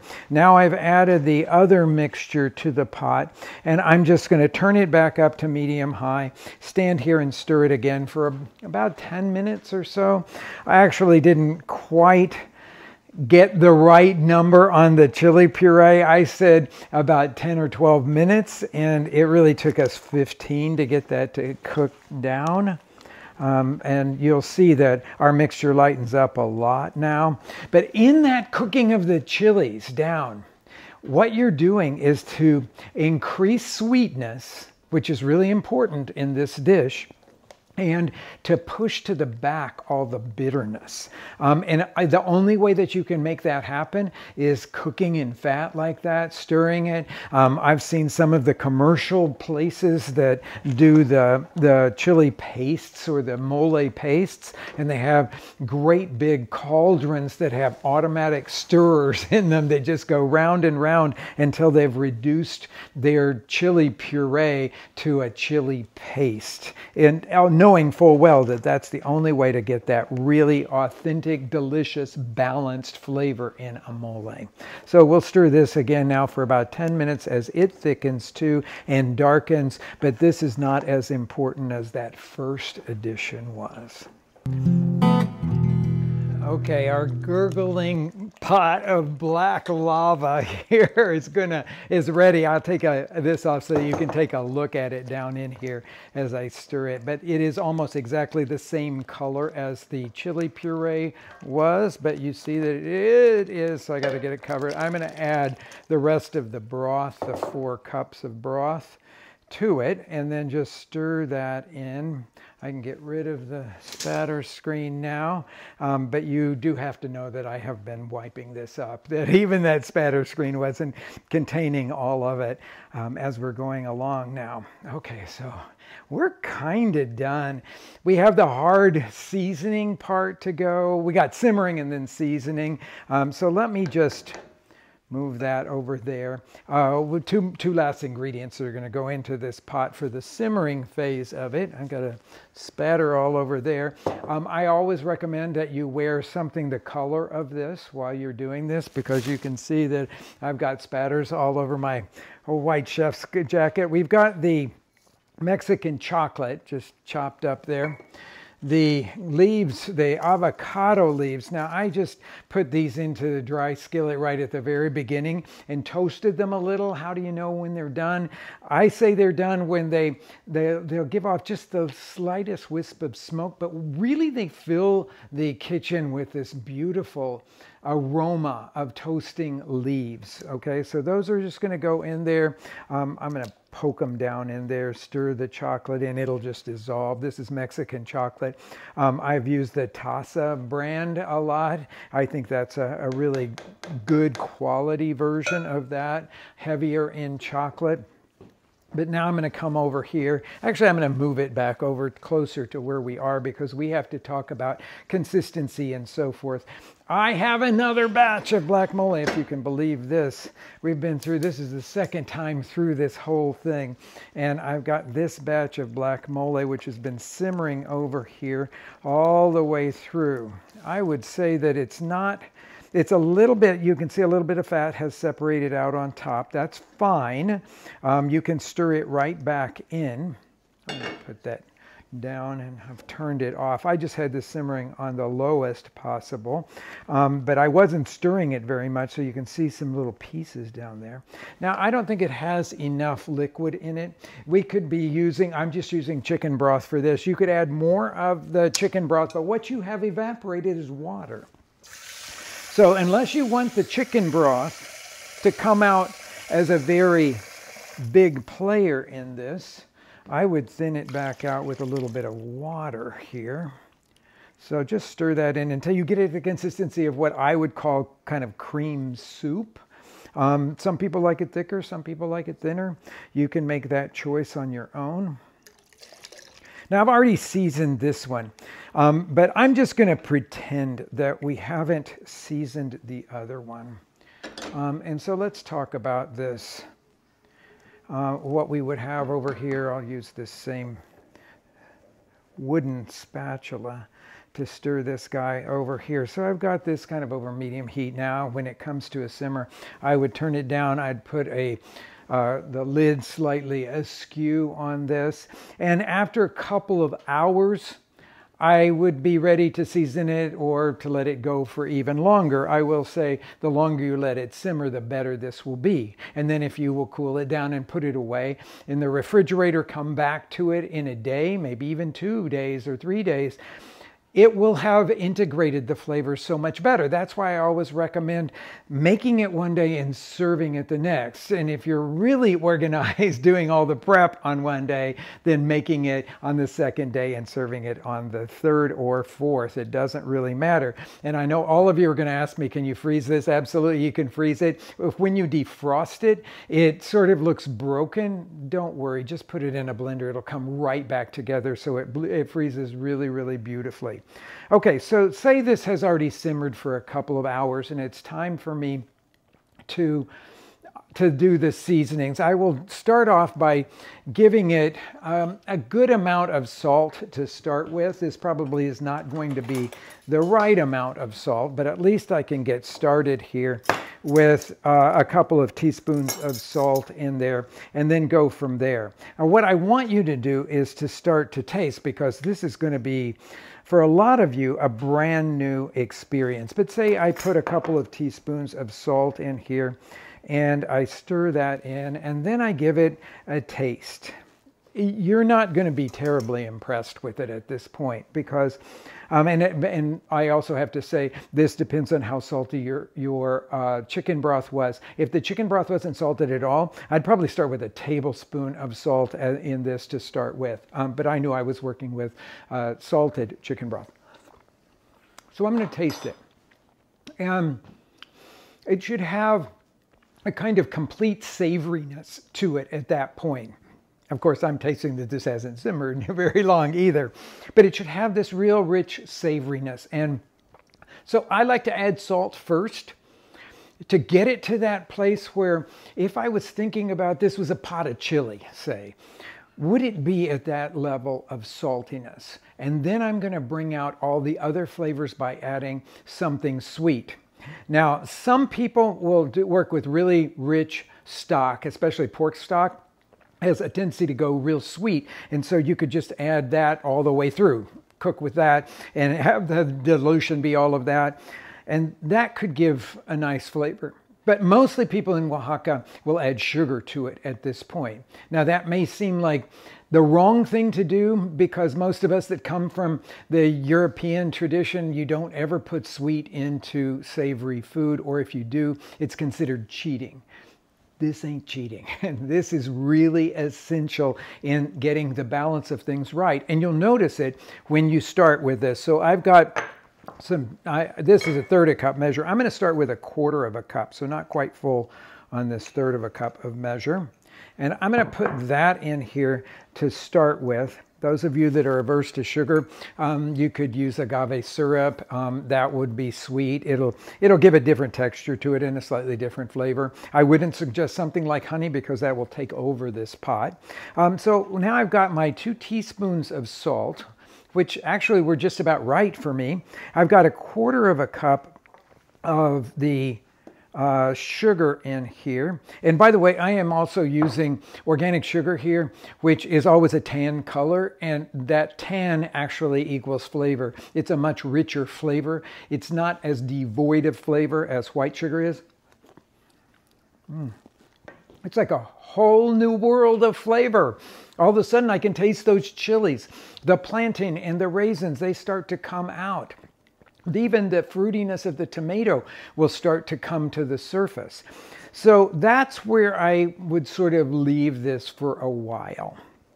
And that is one of the hardest things to get right. But if you're making it according to these directions, probably you will get to that quarter of a cup of sugar and two teaspoons of salt in the ballpark.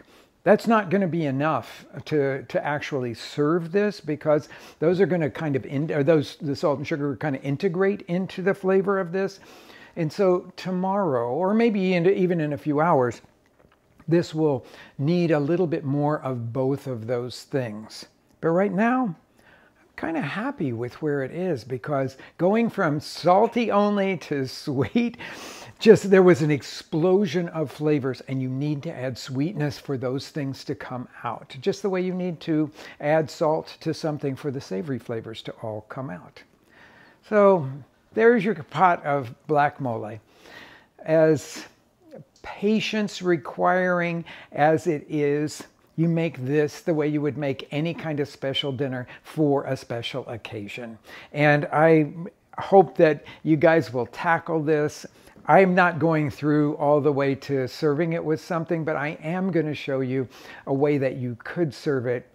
So give me just a second to get ready for that. Of course, black mole is the star of the show here.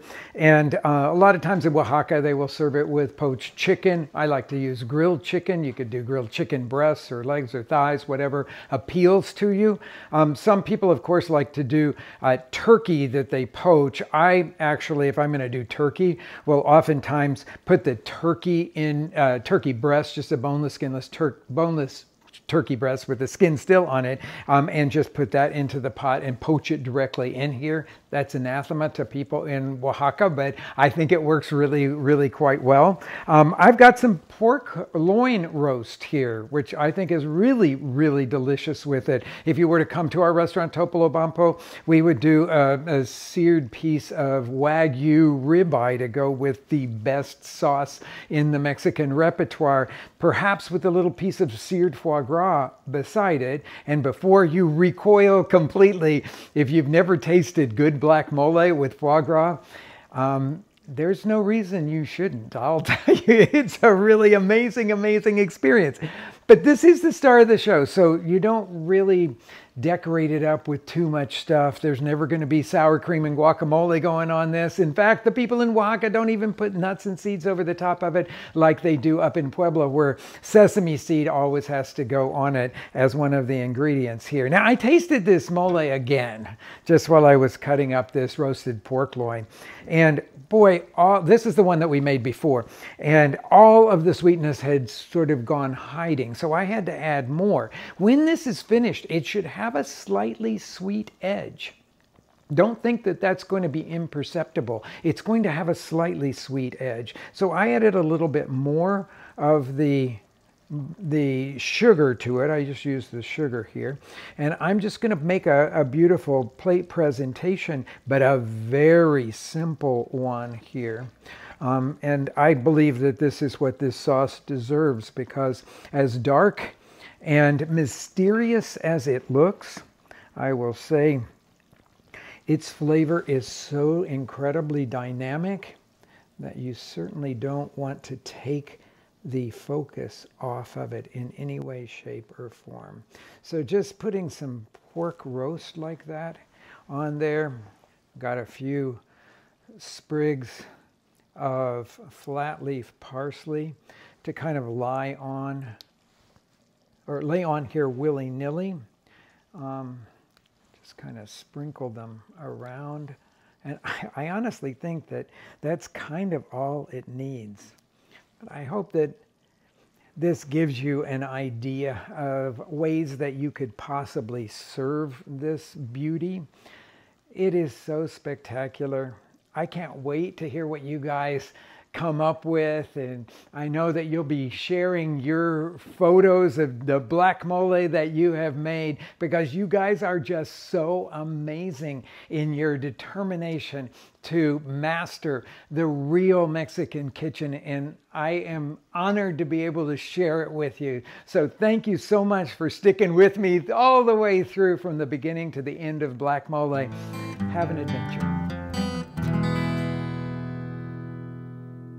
We're moving into the holiday season, and I wanted to share something that is a major Mexican tradition, um, and that is making ponche to serve at the Christmas parties, the ones that are called posadas.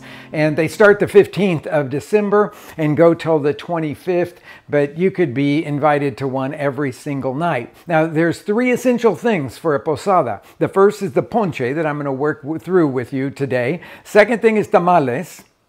Third thing is a piñata. Usually for the kids, the, but the adults sort of get into the action as well.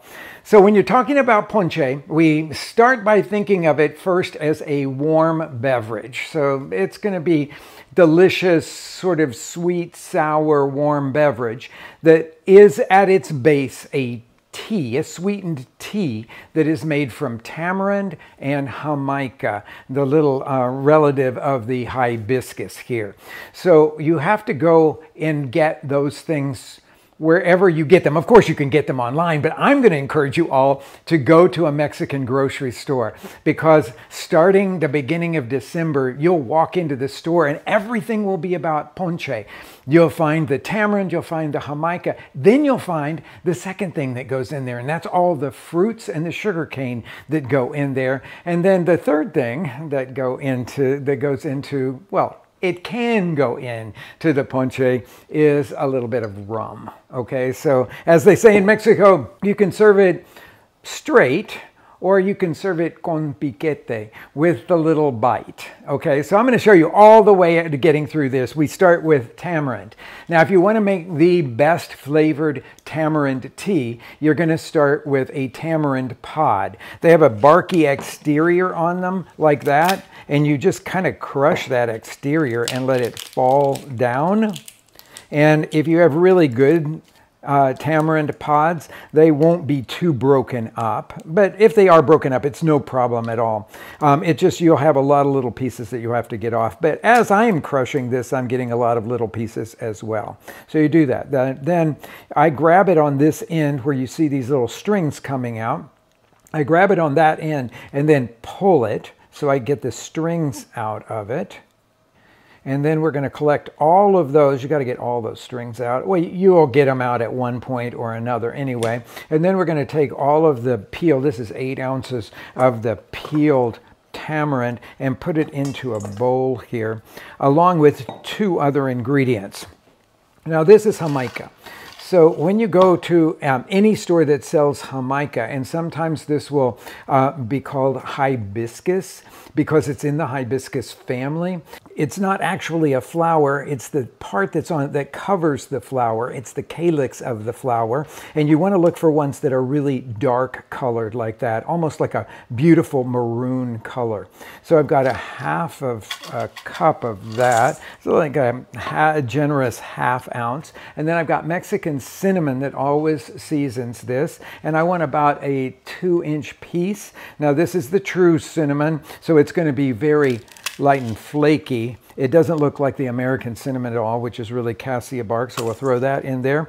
And then I'm going to cover this with uh, two quarts of boiling water. Let me grab it underneath there. So I've got that to pour over this.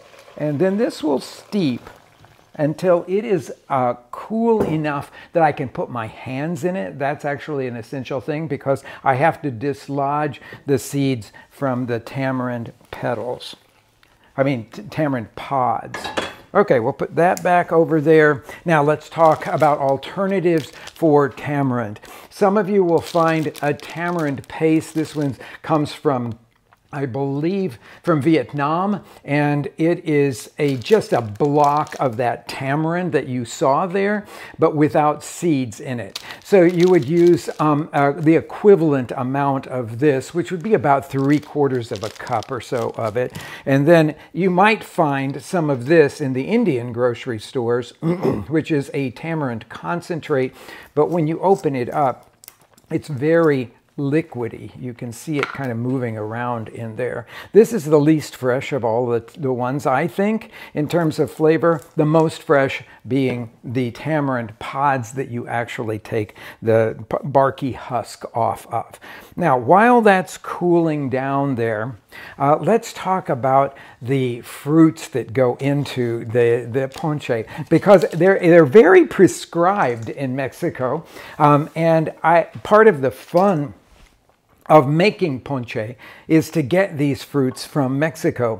So I walked into my local Mexican grocery store and I found the three things that go in there. We've got the two fruits, the guava and what's called tejocote or hawthorn in English, and the sugar cane.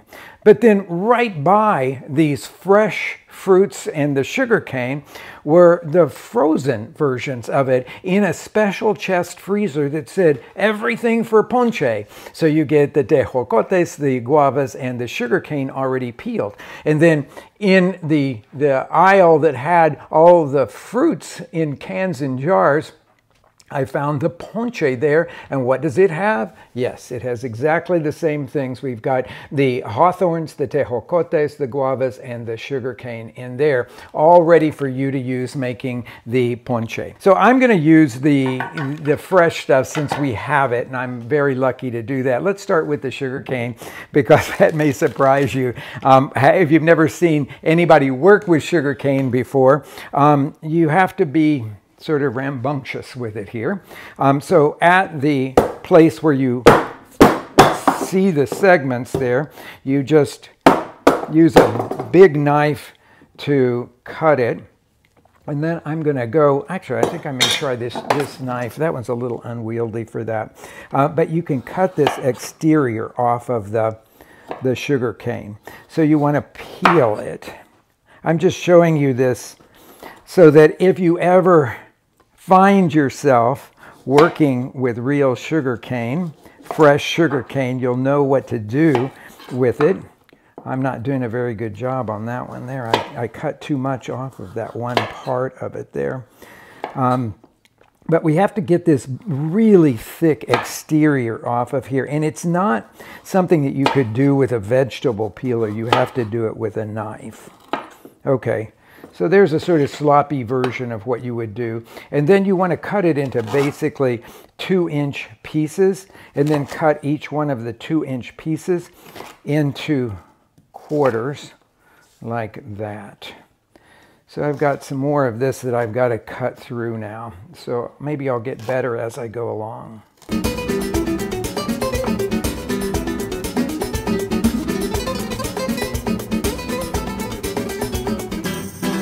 That's a lot of work. I guess I would probably recommend to you to buy the already peeled frozen stuff because it'll be really good and easy for you to work with. Um, I discovered or remembered after I started working in those longer pieces that it's actually way easier to peel this if you just cut them into the two inch pieces and then peel each one of the two inch pieces. And that's what I've got here. Now let's go on to the guavas. Um, guavas are really easy to work with in a lot of ways. Here, I'm going to cut one open and then with a small spoon, I'm going to go into it like that and I'm going to take out all of the seeds. Now, there's a lot of flavor in those seeds, but it's not going to play here. You could make a little jam out of that and strain it, but those seeds are extremely hard. Um, and so you want to get them out of here because they will not make your ponche good. Uh, but the flavor of guavas, if you haven't had them, is incredibly tropical. It is one of my very, very favorite of the tropical fruits. So I have a, a few more of these guavas to do after uh, cutting them. I mean, after taking the seeds out, I'm going to cut them into uh, little strips like that so that they distribute very nicely through our ponche.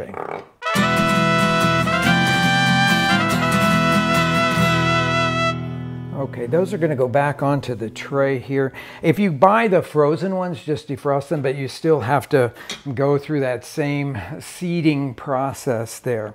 And then we have the hawthorns, the, the tejocotes. What do they taste like?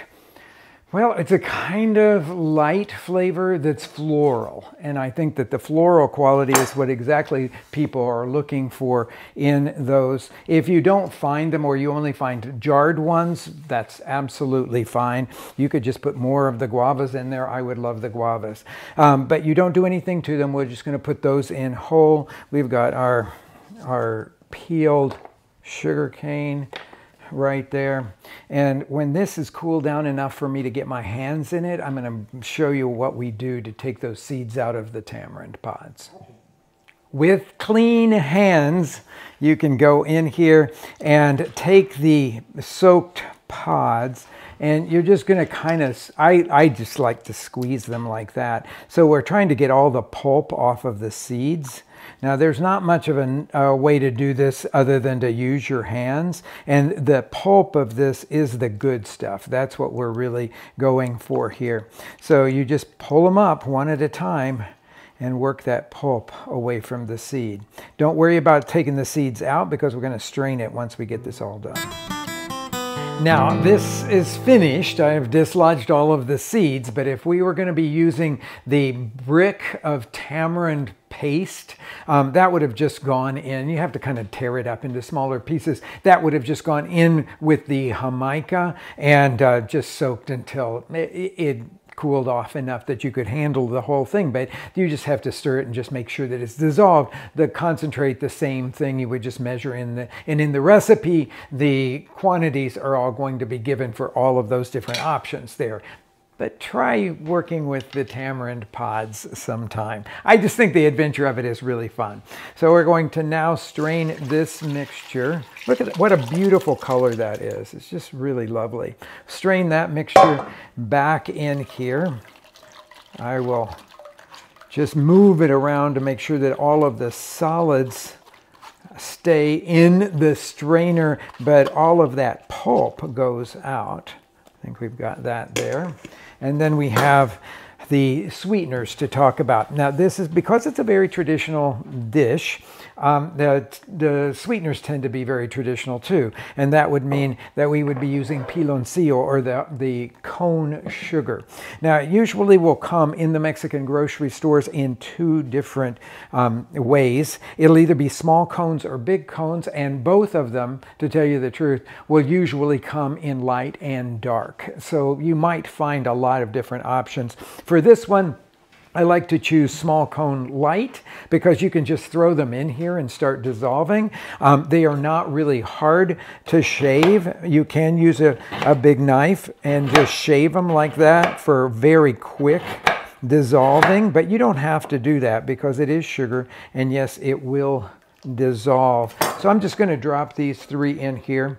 Um, if you were using, that's going to give us just about uh, four ounces or so of the sugar. If you were using one of the large cones and it weighs about eight ounces, it'd be about half of this, but this you will have to cut. Somebody told me a really interesting trick. You can put that into the microwave for just about 20 seconds or so, and it will unstabilize it enough because there is liquid still in here. It's the raw sugar with the molasses still in it it will unstabilize it enough that the, the cone will just start to fall apart. So you might want to use that trick. And then I've got some white sugar that's going to go in here. All piloncillo to me is um, a little heavy for this. So I just want to let that, I'm going to put that over the fire here. And then we will just stir that until it comes to a simmer and all of that piloncillo, those cones have been dissolved. While that's working, I am going to chop up a couple of apples. Now, everybody's got their own version. After you get your tamarind and jamaica base that's cinnamon scented, um, and then you get these three elements that pretty much everybody puts in their ponche people start putting in all kinds of other things. More, er, more spices could go in there. Different kinds of uh, seasonal fruit could go in there. Um, I'm keeping it kind of simple because there's enough going on here for you to, to say grace over. So I'm going to put a couple of apples in here as well. I'm just going to quarter them, core them, and peel them, and then chop them into small pieces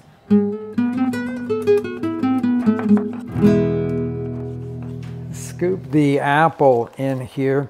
The piloncillo has mostly melted now.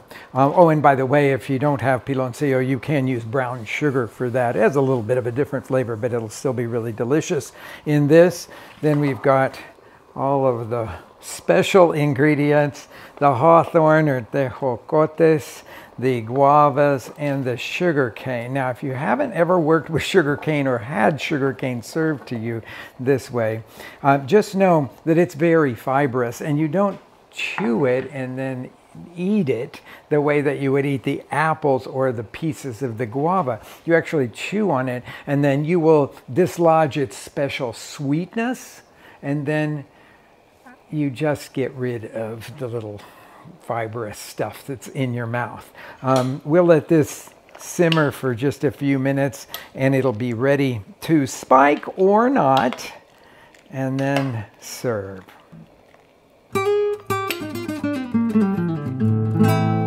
If you're going to spike this, I would recommend about a cup of white rum. That's the, um, the kind of you could put tequila in it if you want, but I'll say that in Mexico they typically would put in this aguardiente, which is aguardiente de caña or a cane rum, a very simple cane rum. Um, so I'm going to add that to it. I've got a very low fire now. Um, and oftentimes you could just leave it unspiked and let everybody have a little bit of shot of the of the rum in their own glass. This is an earthenware mug that is typically used for serving the ponche. Um, interestingly enough, in many of the Mexican groceries in the United States, this is such an important thing that you will find them there. So if you want to have a real Mexican posada, I highly recommend looking for these to um, have in your uh, in your possession for having your Mexican posada. Now I'm going to ladle some of this in here. Um, you want to get some of the solids and then some of the juice. I like to serve it with a spoon, which is very typical. This puts me right back into Puebla. Um, the most memorable ponche that I ever tasted was at a posada that was in a churchyard. And somebody had made this really beautiful, beautiful ponche. And they served it in these earthenware um, uh, mugs like this. And we stood around in the brisk air and enjoyed a really warming mug full of ponche.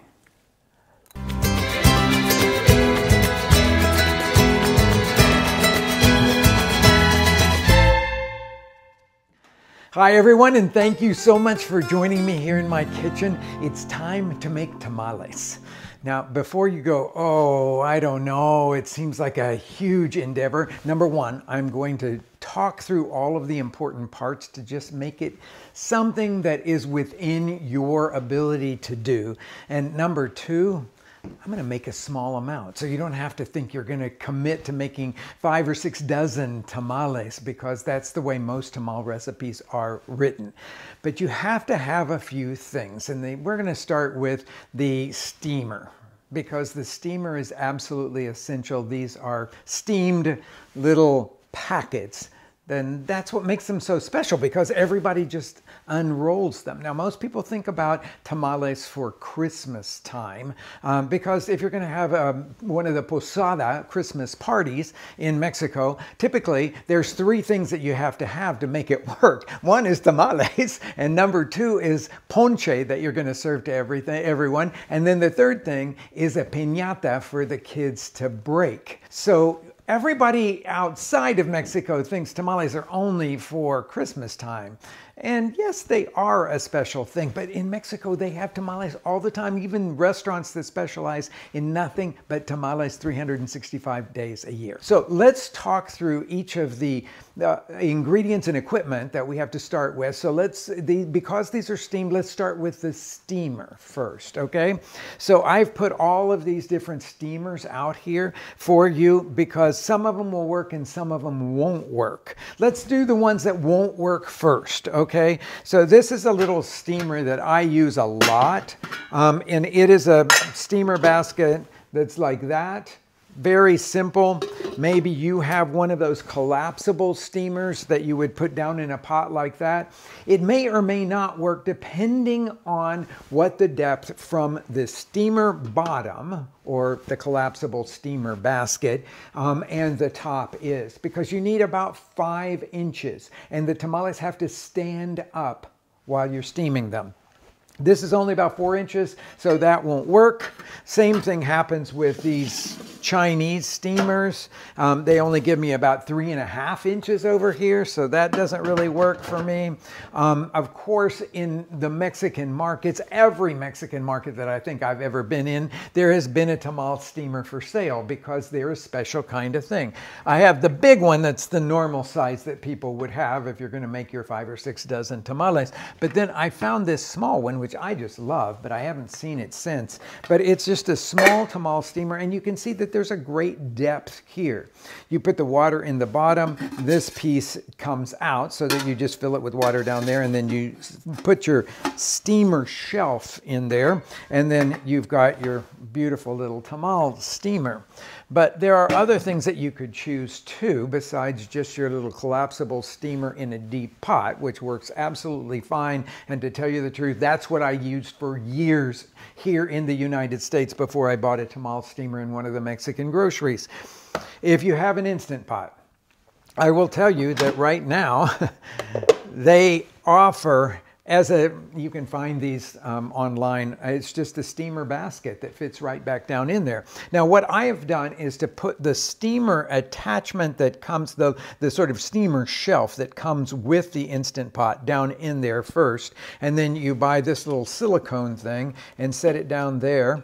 And then you put it on steam put the top on like that and then let it steam. We're going to steam for about an hour. That's what tamales take, which you will absolutely love because it will fill the house with this glorious, glorious fragrance that is the, only the aroma of steaming tamales. Now let's go on to ingredients since we've talked about different kinds of steamers. So first of all, you can't make any kind of tamal without masa. So if you live in a place that has really good tortillerias and you want to do something really special, go to the tortilleria and ask for masa para tamal or the masa for making tamales. It is more coarsely ground and drier than the masa for making tortillas. Or you can go to a Mexican grocery store and buy this very, very well-known brand of the, the masa for tamales. And it says right there on the label in big letters that it is for tamal. It is not a white bag, it's a cream colored bag. You will notice the difference right away. And if you don't see it, ask around and say, what it, where's the masa for making tamales? And then you just reconstitute that. I have reconstituted that with three quarters, this, the, for this recipe with three quarters of a cup of hot tap water. And that's it. Now, this I what I want you to show you is this is the masa that we get from our tortilleria that makes the masa for um, the, for us to use in our restaurants um, for making tortillas or for making tamales. And you see that it will hold together if I just squeeze it. So it really is damp. It's damp enough to do that. And when I'm working with the, the reconstituted tamal masa, I want it to look sort of like that as well. So I can squeeze that together, but I can also just let it fall apart. So that is our masa part of this. Now the next thing that we need to talk about is the fat that is used to make tamales. So typically in Mexico, it will be fresh rendered pork fat or what we call lard here. Now, if lard is not something that you're going to choose for religious purposes uh, or reasons, I completely support that. But if you're one of those people that just came up thinking that somehow lard was a bad ingredient, I'm going to ask you to rethink that because fresh rendered pork fat that is done at a high temperatures tastes like roast pork. It's absolutely delicious stuff. So I'm going to ask you to think about the possibility of using some lard, but where would you get it? So I would say you would have to go to a butcher to get it or go to a Mexican market, but don't just go for the stuff, the national brands that's in little bricks there. That stuff has very little flavor. It's hydrogenated, so it's not good for you health-wise you would go back to the meat department say you have the good stuff, the good lard, the one that you maybe use for making carnitas they will help you. If you're not going to use the lard, then I want to make sure that you get something that's not hydrogenated. Um, you know, there's national brands that are out there. This is the one that I would use because this is made from all palm kernel oil um, and it is solid at room temperature. So it will be just like any of the other vegetable shortenings that you would be used to working with. But today, what I'm going to do is to work with the masa that we get from the tortilleria. So the tamal masa from them, and I'm going to use the fresh rendered pork lard. Yes, I'm a lucky guy because we we have a pig farmer that gets all or does all of the, the pork that we use in our restaurant, and he renders this beautiful, beautiful lard. In most Mexican households, they do a lot of the beating of the tamales dough or batter by hand. I'm not going to recommend that you do that because it takes a lot of time. So I'm going to use just a stand mixer here and I'm going to put the, the fat in here. And don't worry, if all of this is just too much information for you, we've got you covered in the recipe that is going to be attached to this video. So I put the, and I'm not going to tell you the proportions because you'll need to go look those up anyway. I'm going to put the lard in here um, and then I'm going to start the beating. I want it to lighten in color. And while it is lightening in color, and this, by the way, is not cold and it's not warm. It's just at room temperature, making it the most pliable that it could be. I'm gonna add a teaspoon of baking powder to this and a teaspoon of salt. And now I'm looking at it and it's already lightened a lot in, in color, which means that literally it is getting air pumped into it, which is what we're looking for. If it's very hot in your kitchen when you're doing this, you'll want to put the fat that you're using for a brief time in the refrigerator to cool it down a little bit so that you can actually beat some air into it. Now, on a slow speed here, I'm going to add this masa in three additions. So there went about a third of it. Make sure it's well mixed in. Another third of it. Beat that. And then our last third of the masa goes in, and that's a really, really stiff looking mixture now. So we're gonna soften it up with a little bit of chicken broth. If you're doing these and you wanna make them all vegetarian, I'm gonna make a chicken filling, but you could do a vegetable filling. Um, but I, we could do this all vegetarian, and in our restaurant we do do a bunch of them vegetarian. I would use this shortening, and I would use vegetable stock for it. But now I'm going to put in about a cupful of the of this broth. But in order for it to sort of get softening up the masa, I'm going to do it slowly here. I'm just going to pour it in in a very thin stream as it mixes into the masa. Now I have a cup and a half of broth here because a lot of times you will need that much, but usually for me, it's about a cup that I need. So I'm going to stop before I have used up all of this broth. So you can see it now, it's starting to look like a thick cake batter. And let's see where we are here. I'm right at the cup full. Yeah, I think I'm just going to stop with that because I this is the most important thing that I can show you is what the consistency of this batter is supposed to be like. Um, it's sort of like making bread. When you're making bread, sometimes the flour will absorb more liquid or less liquid. So what you're going for in bread making, of course, is the feel of the bread dough. Sort of the same thing happens now with this. And I'm going to turn it off and then open it up so that you can see what the consistency of this is. But look at that. It just looks like a, a beautiful cake batter. It will fall off of my beater like that. It's light and fluffy. I'm going to put this back on, beat it for just another minute to see if I can get more air in it. And I'm going to show you this sort of classic test for determining whether you've beaten the masa enough. So I'm going to put this back on and beat it a little bit more.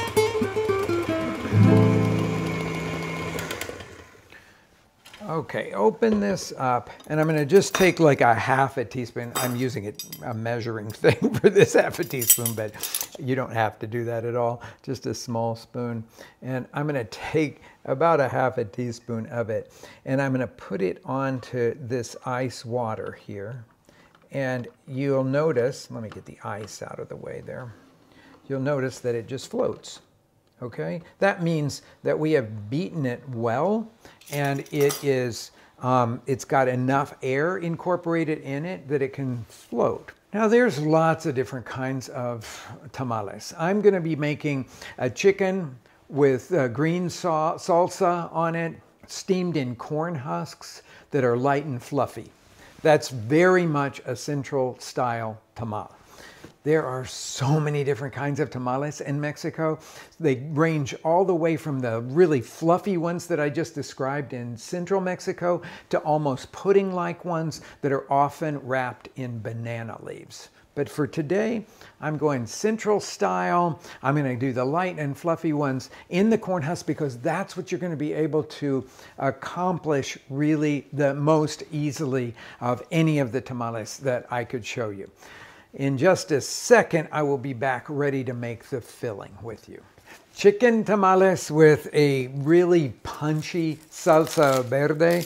They're some of my favorites. They're some of the most commonly found in Mexico. And we're gonna do what you've seen me do many times is to roast some tomatillos, garlic, and some green chili. Now you could use any kind of green chili that you have for this. This It could be jalapenos, it could be serranos, which is what I'm using here. But if you have some in your garden, something that's uh, green and spicy, you might wanna do that. Those of you that are real aficionados of spicy, spicy food could make an habanero version of this if you would like to. All of those things would be great, a very classic uh, technique of roasting everything, though we are going to do it under a broiler rather than on the stove top like it would typically be done in Mexico. Um, I've put these all on a rimmed baking sheet. I took the tops, the little stems off of the chilies, and the garlic is still in its papery husk. These will go under my preheated broiler here, um, really close, about four inches below the highest setting that my oven offers. And after about six minutes or so, they will be blotchy black. And then I'll flip everything over and we'll roast it for another six minutes. Sometimes the chilies need to be pulled before that. Sometimes the garlic does. But we'll take a look at it as we're going along here. So I'm just going to slide these in there and I will meet you back here when they are ready.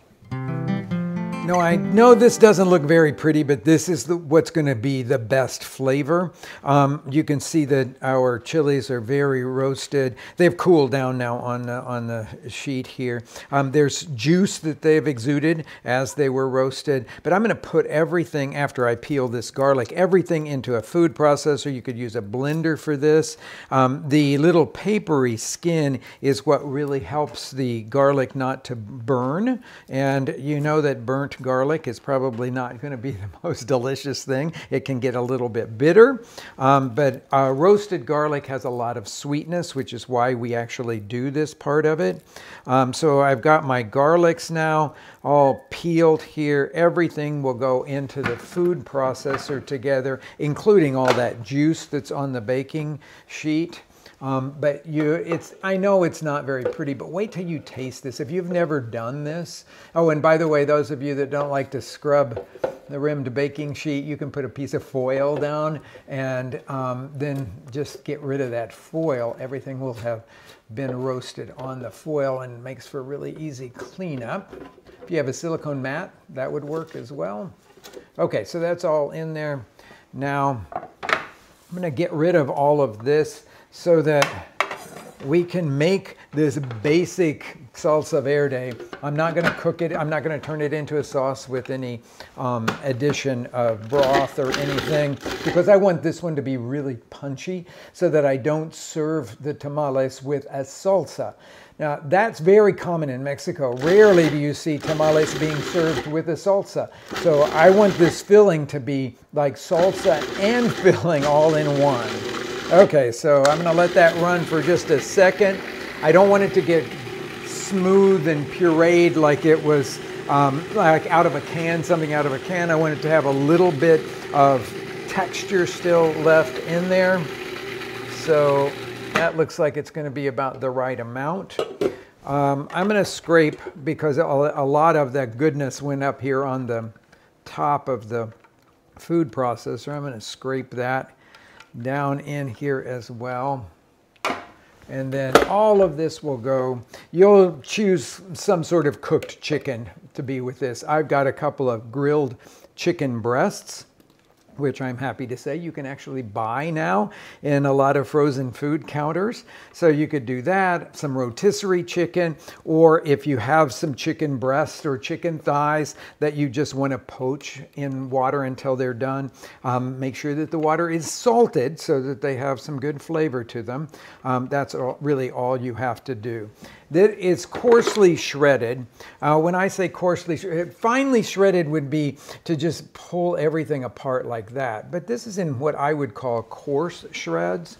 Um, so I'm going to mix that into the salsa. We're gonna we're missing just now a little chopped cilantro and some salt to add to it. So in a typical way of chopping cilantro, I will take the the bunch of cilantro that I pulled off of here. And it's a pretty good amount here that I'm using because I want that flavor to be present all the way through the steaming of the tamales. So cutting very thin slices crosswise, not taking the leaves off, but chopping the stems in with everything. And then when I run out of leaves down here, I will stop, get rid of the, the, the stems there, put that in with the rest of our mixture. Now I know that that chicken has had a little bit of salt on it already. So I'm not gonna go overboard with the salt on this. I just wanna do enough to really season it. So I know what that will take here. And it's probably about that much. So more in that sort of half teaspoon range. And this is what you want your filling to look like.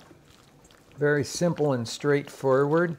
If you have another salsa that you like, if you had a jarred salsa that you really like, maybe you're going to open that jar and put that with your chicken and work with that. I just want to make sure that making tamales is not that some that something that is way off in the distant future, but becomes part of everyday thinking in your kitchen so that you could say, yeah, I'm going to make some tamales. I'm going to have some people over. I'm going to celebrate a birthday and I'm going to make some beautiful tamales and take that steamer to the table and just fill the room with that absolutely glorious aroma. Okay, now we're ready to move on to the forming of the tamales. Now, corn husks are available in lots of grocery stores in the United States, uh, depending on what part of the country that you're in. Uh, certainly in Chicago, we find them lots of places and in every Mexican grocery store. This is the variety that we find a lot in our grocery stores here. It's a product of Mexico, and it's a little different than the ones that I see in Mexico. The, you'll notice that there's a sort of blunt cut here at the end, and the ones in Mexico tend to be more of the base of it that curves in, actually making it a little bit easier to form a tamal in them. Okay, now the first thing that you got to do is to, to soak these so that they become pliable. That takes a couple of hours. If you wanted to boil water and pour it over, I just use hot tap water and, and do that. The boiling water might speed it along a few minutes, but you could soak these overnight if you wanted to. Uh, but two hours is usually a good amount. Now you want to choose a dozen really nice uh, leaves here, big full, full ones with no tears in them. Um, and oh, look at that one. It's really gorgeous. That's really, really big. It's almost too big. I'm going to tear off a little bit of that one there. And we're going to collect these um, ones that are a little, they're too small to make tamales out of and use them in the steamer to have on the bottom. Um, but these are really, really very, very nice ones. Um, if you find some that don't have, um, they're, they're not, they're broken in the middle, um, you can double them up if that's all you can find. Um, but I often will take the ones that are the smaller pieces and put them down in the bottom of the steamer. Now this is that sort of pasta steamer, asparagus steamer. I've got water in the bottom of it here. And I'm just gonna take the, the corn husks that are not big enough to use for making tamales and lay them kind of like in a sort of star pattern to cover the bottom of of the steamer. That will add extra aroma to all of this. Now, I want to dry these guys off a little bit, or we can just do it one at a time as we're working through them, um, and uh, form tamales with them. So we'll start here by laying a large corn husk, soaked corn husk, in front of me with the cutoff end toward me. The next step is to take about a quarter of a cup. I'm going to measure this. Usually you don't see people measuring this because they know they can eye that amount, but a quarter of a cup is a standard size tamal. And I'm going to scoop that right into the center of the base of this corn husk here. I want to get all of it out, so I'm going to do that. You can see why using a quarter cup measure is a little bit cumbersome um, after a while. And then take a spoon. You want to leave about a half of an inch on this end. You'll see why in just a second. And you're going to make about a four inch square, if you will. Something that's like about like that. So you can see that I'm working on, I'm working toward this flat end here, and I want my four inch square to be in the middle. Then I'm going to take a portion of the chicken filling and put that down the center there. I think that will be about the right amount. And using the two sides of the corn husk, I'm going to roll this filling in the masa. So I'm going to completely cover it like that. You can see that. Then pull these two sides together. You can see the outline of the masa in here. And where they meet here, I'm just going to roll it around like that. And then where you see that the masa stops, I'm going to fold that under. And then that is the standard, the most common form for making a tamal. Some of you have probably, so I'm going to stand it up in here. Um, actually, these are kind of hefty corn husks, so I'm going to pleat it at the bottom, not pleat it, I'm just going to really squeeze it at the bottom to make a tight fold there. And then just put this guy right here on the side, standing up. You never want these guys to be lying down. And you can see now why you need a deep steamer to accommodate them. Now, there are probably a lot of you have seen very fancy ties.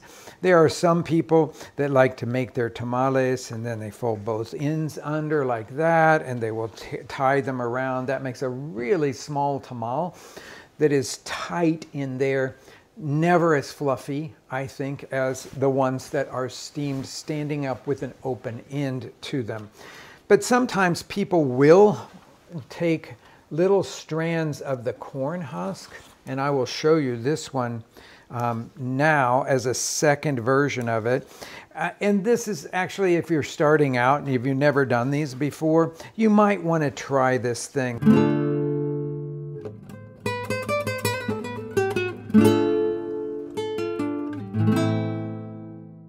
But this is the moment that you could employ the little ties. So you would bring that up like that and go around and make a little knot in it, and that will keep it completely shut.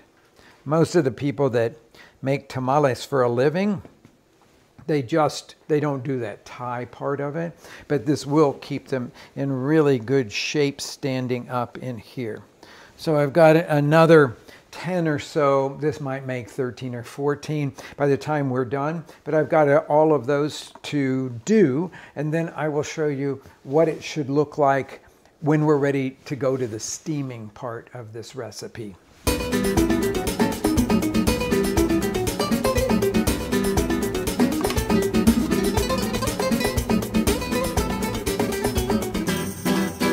You don't want to tie these too tight um, because they are going to expand. Remember, there's baking powder in them. That's one of the reasons that we leave that half inch at the top so they can kind of come up and expand. I usually give them just a little tap like that and then fit them down in here. Now, you look at your steamer.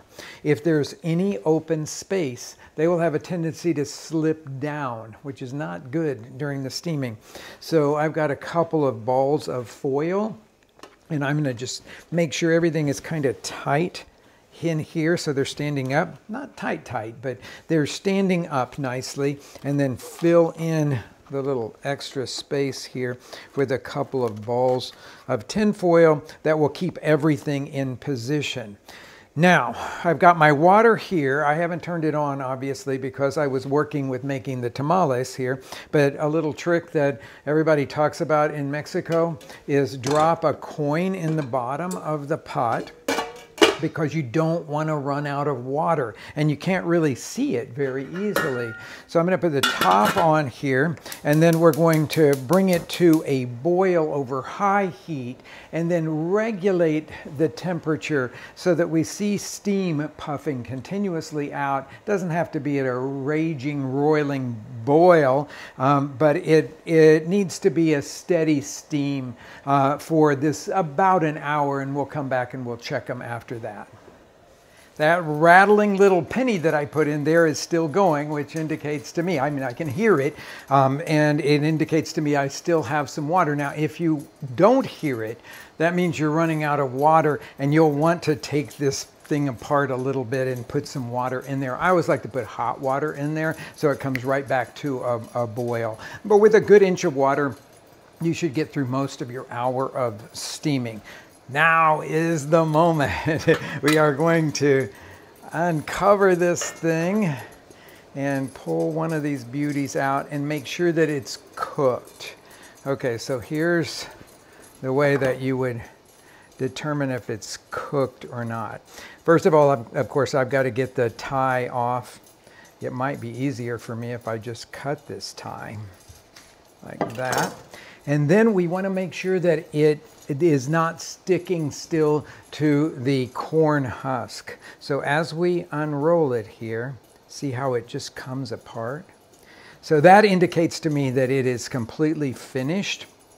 These are going to be very tender at this point. Most people will tell you to turn the fire off let them stand in the steamer for 15 or 20 minutes. They'll still be really, really hot, but the masa itself will sort of start to firm up, and then you'll have um, a really beautiful, oh man, look at that. I am, I'm, I'm, I'm gonna go, even though it's kind of fall apart tender here, I'm gonna, um, they're so light, so beautiful, so full of flavor. I made that salsa pretty spicy so that um, all of that flavor comes through there. If you decide to make tamales for the holiday or any other day,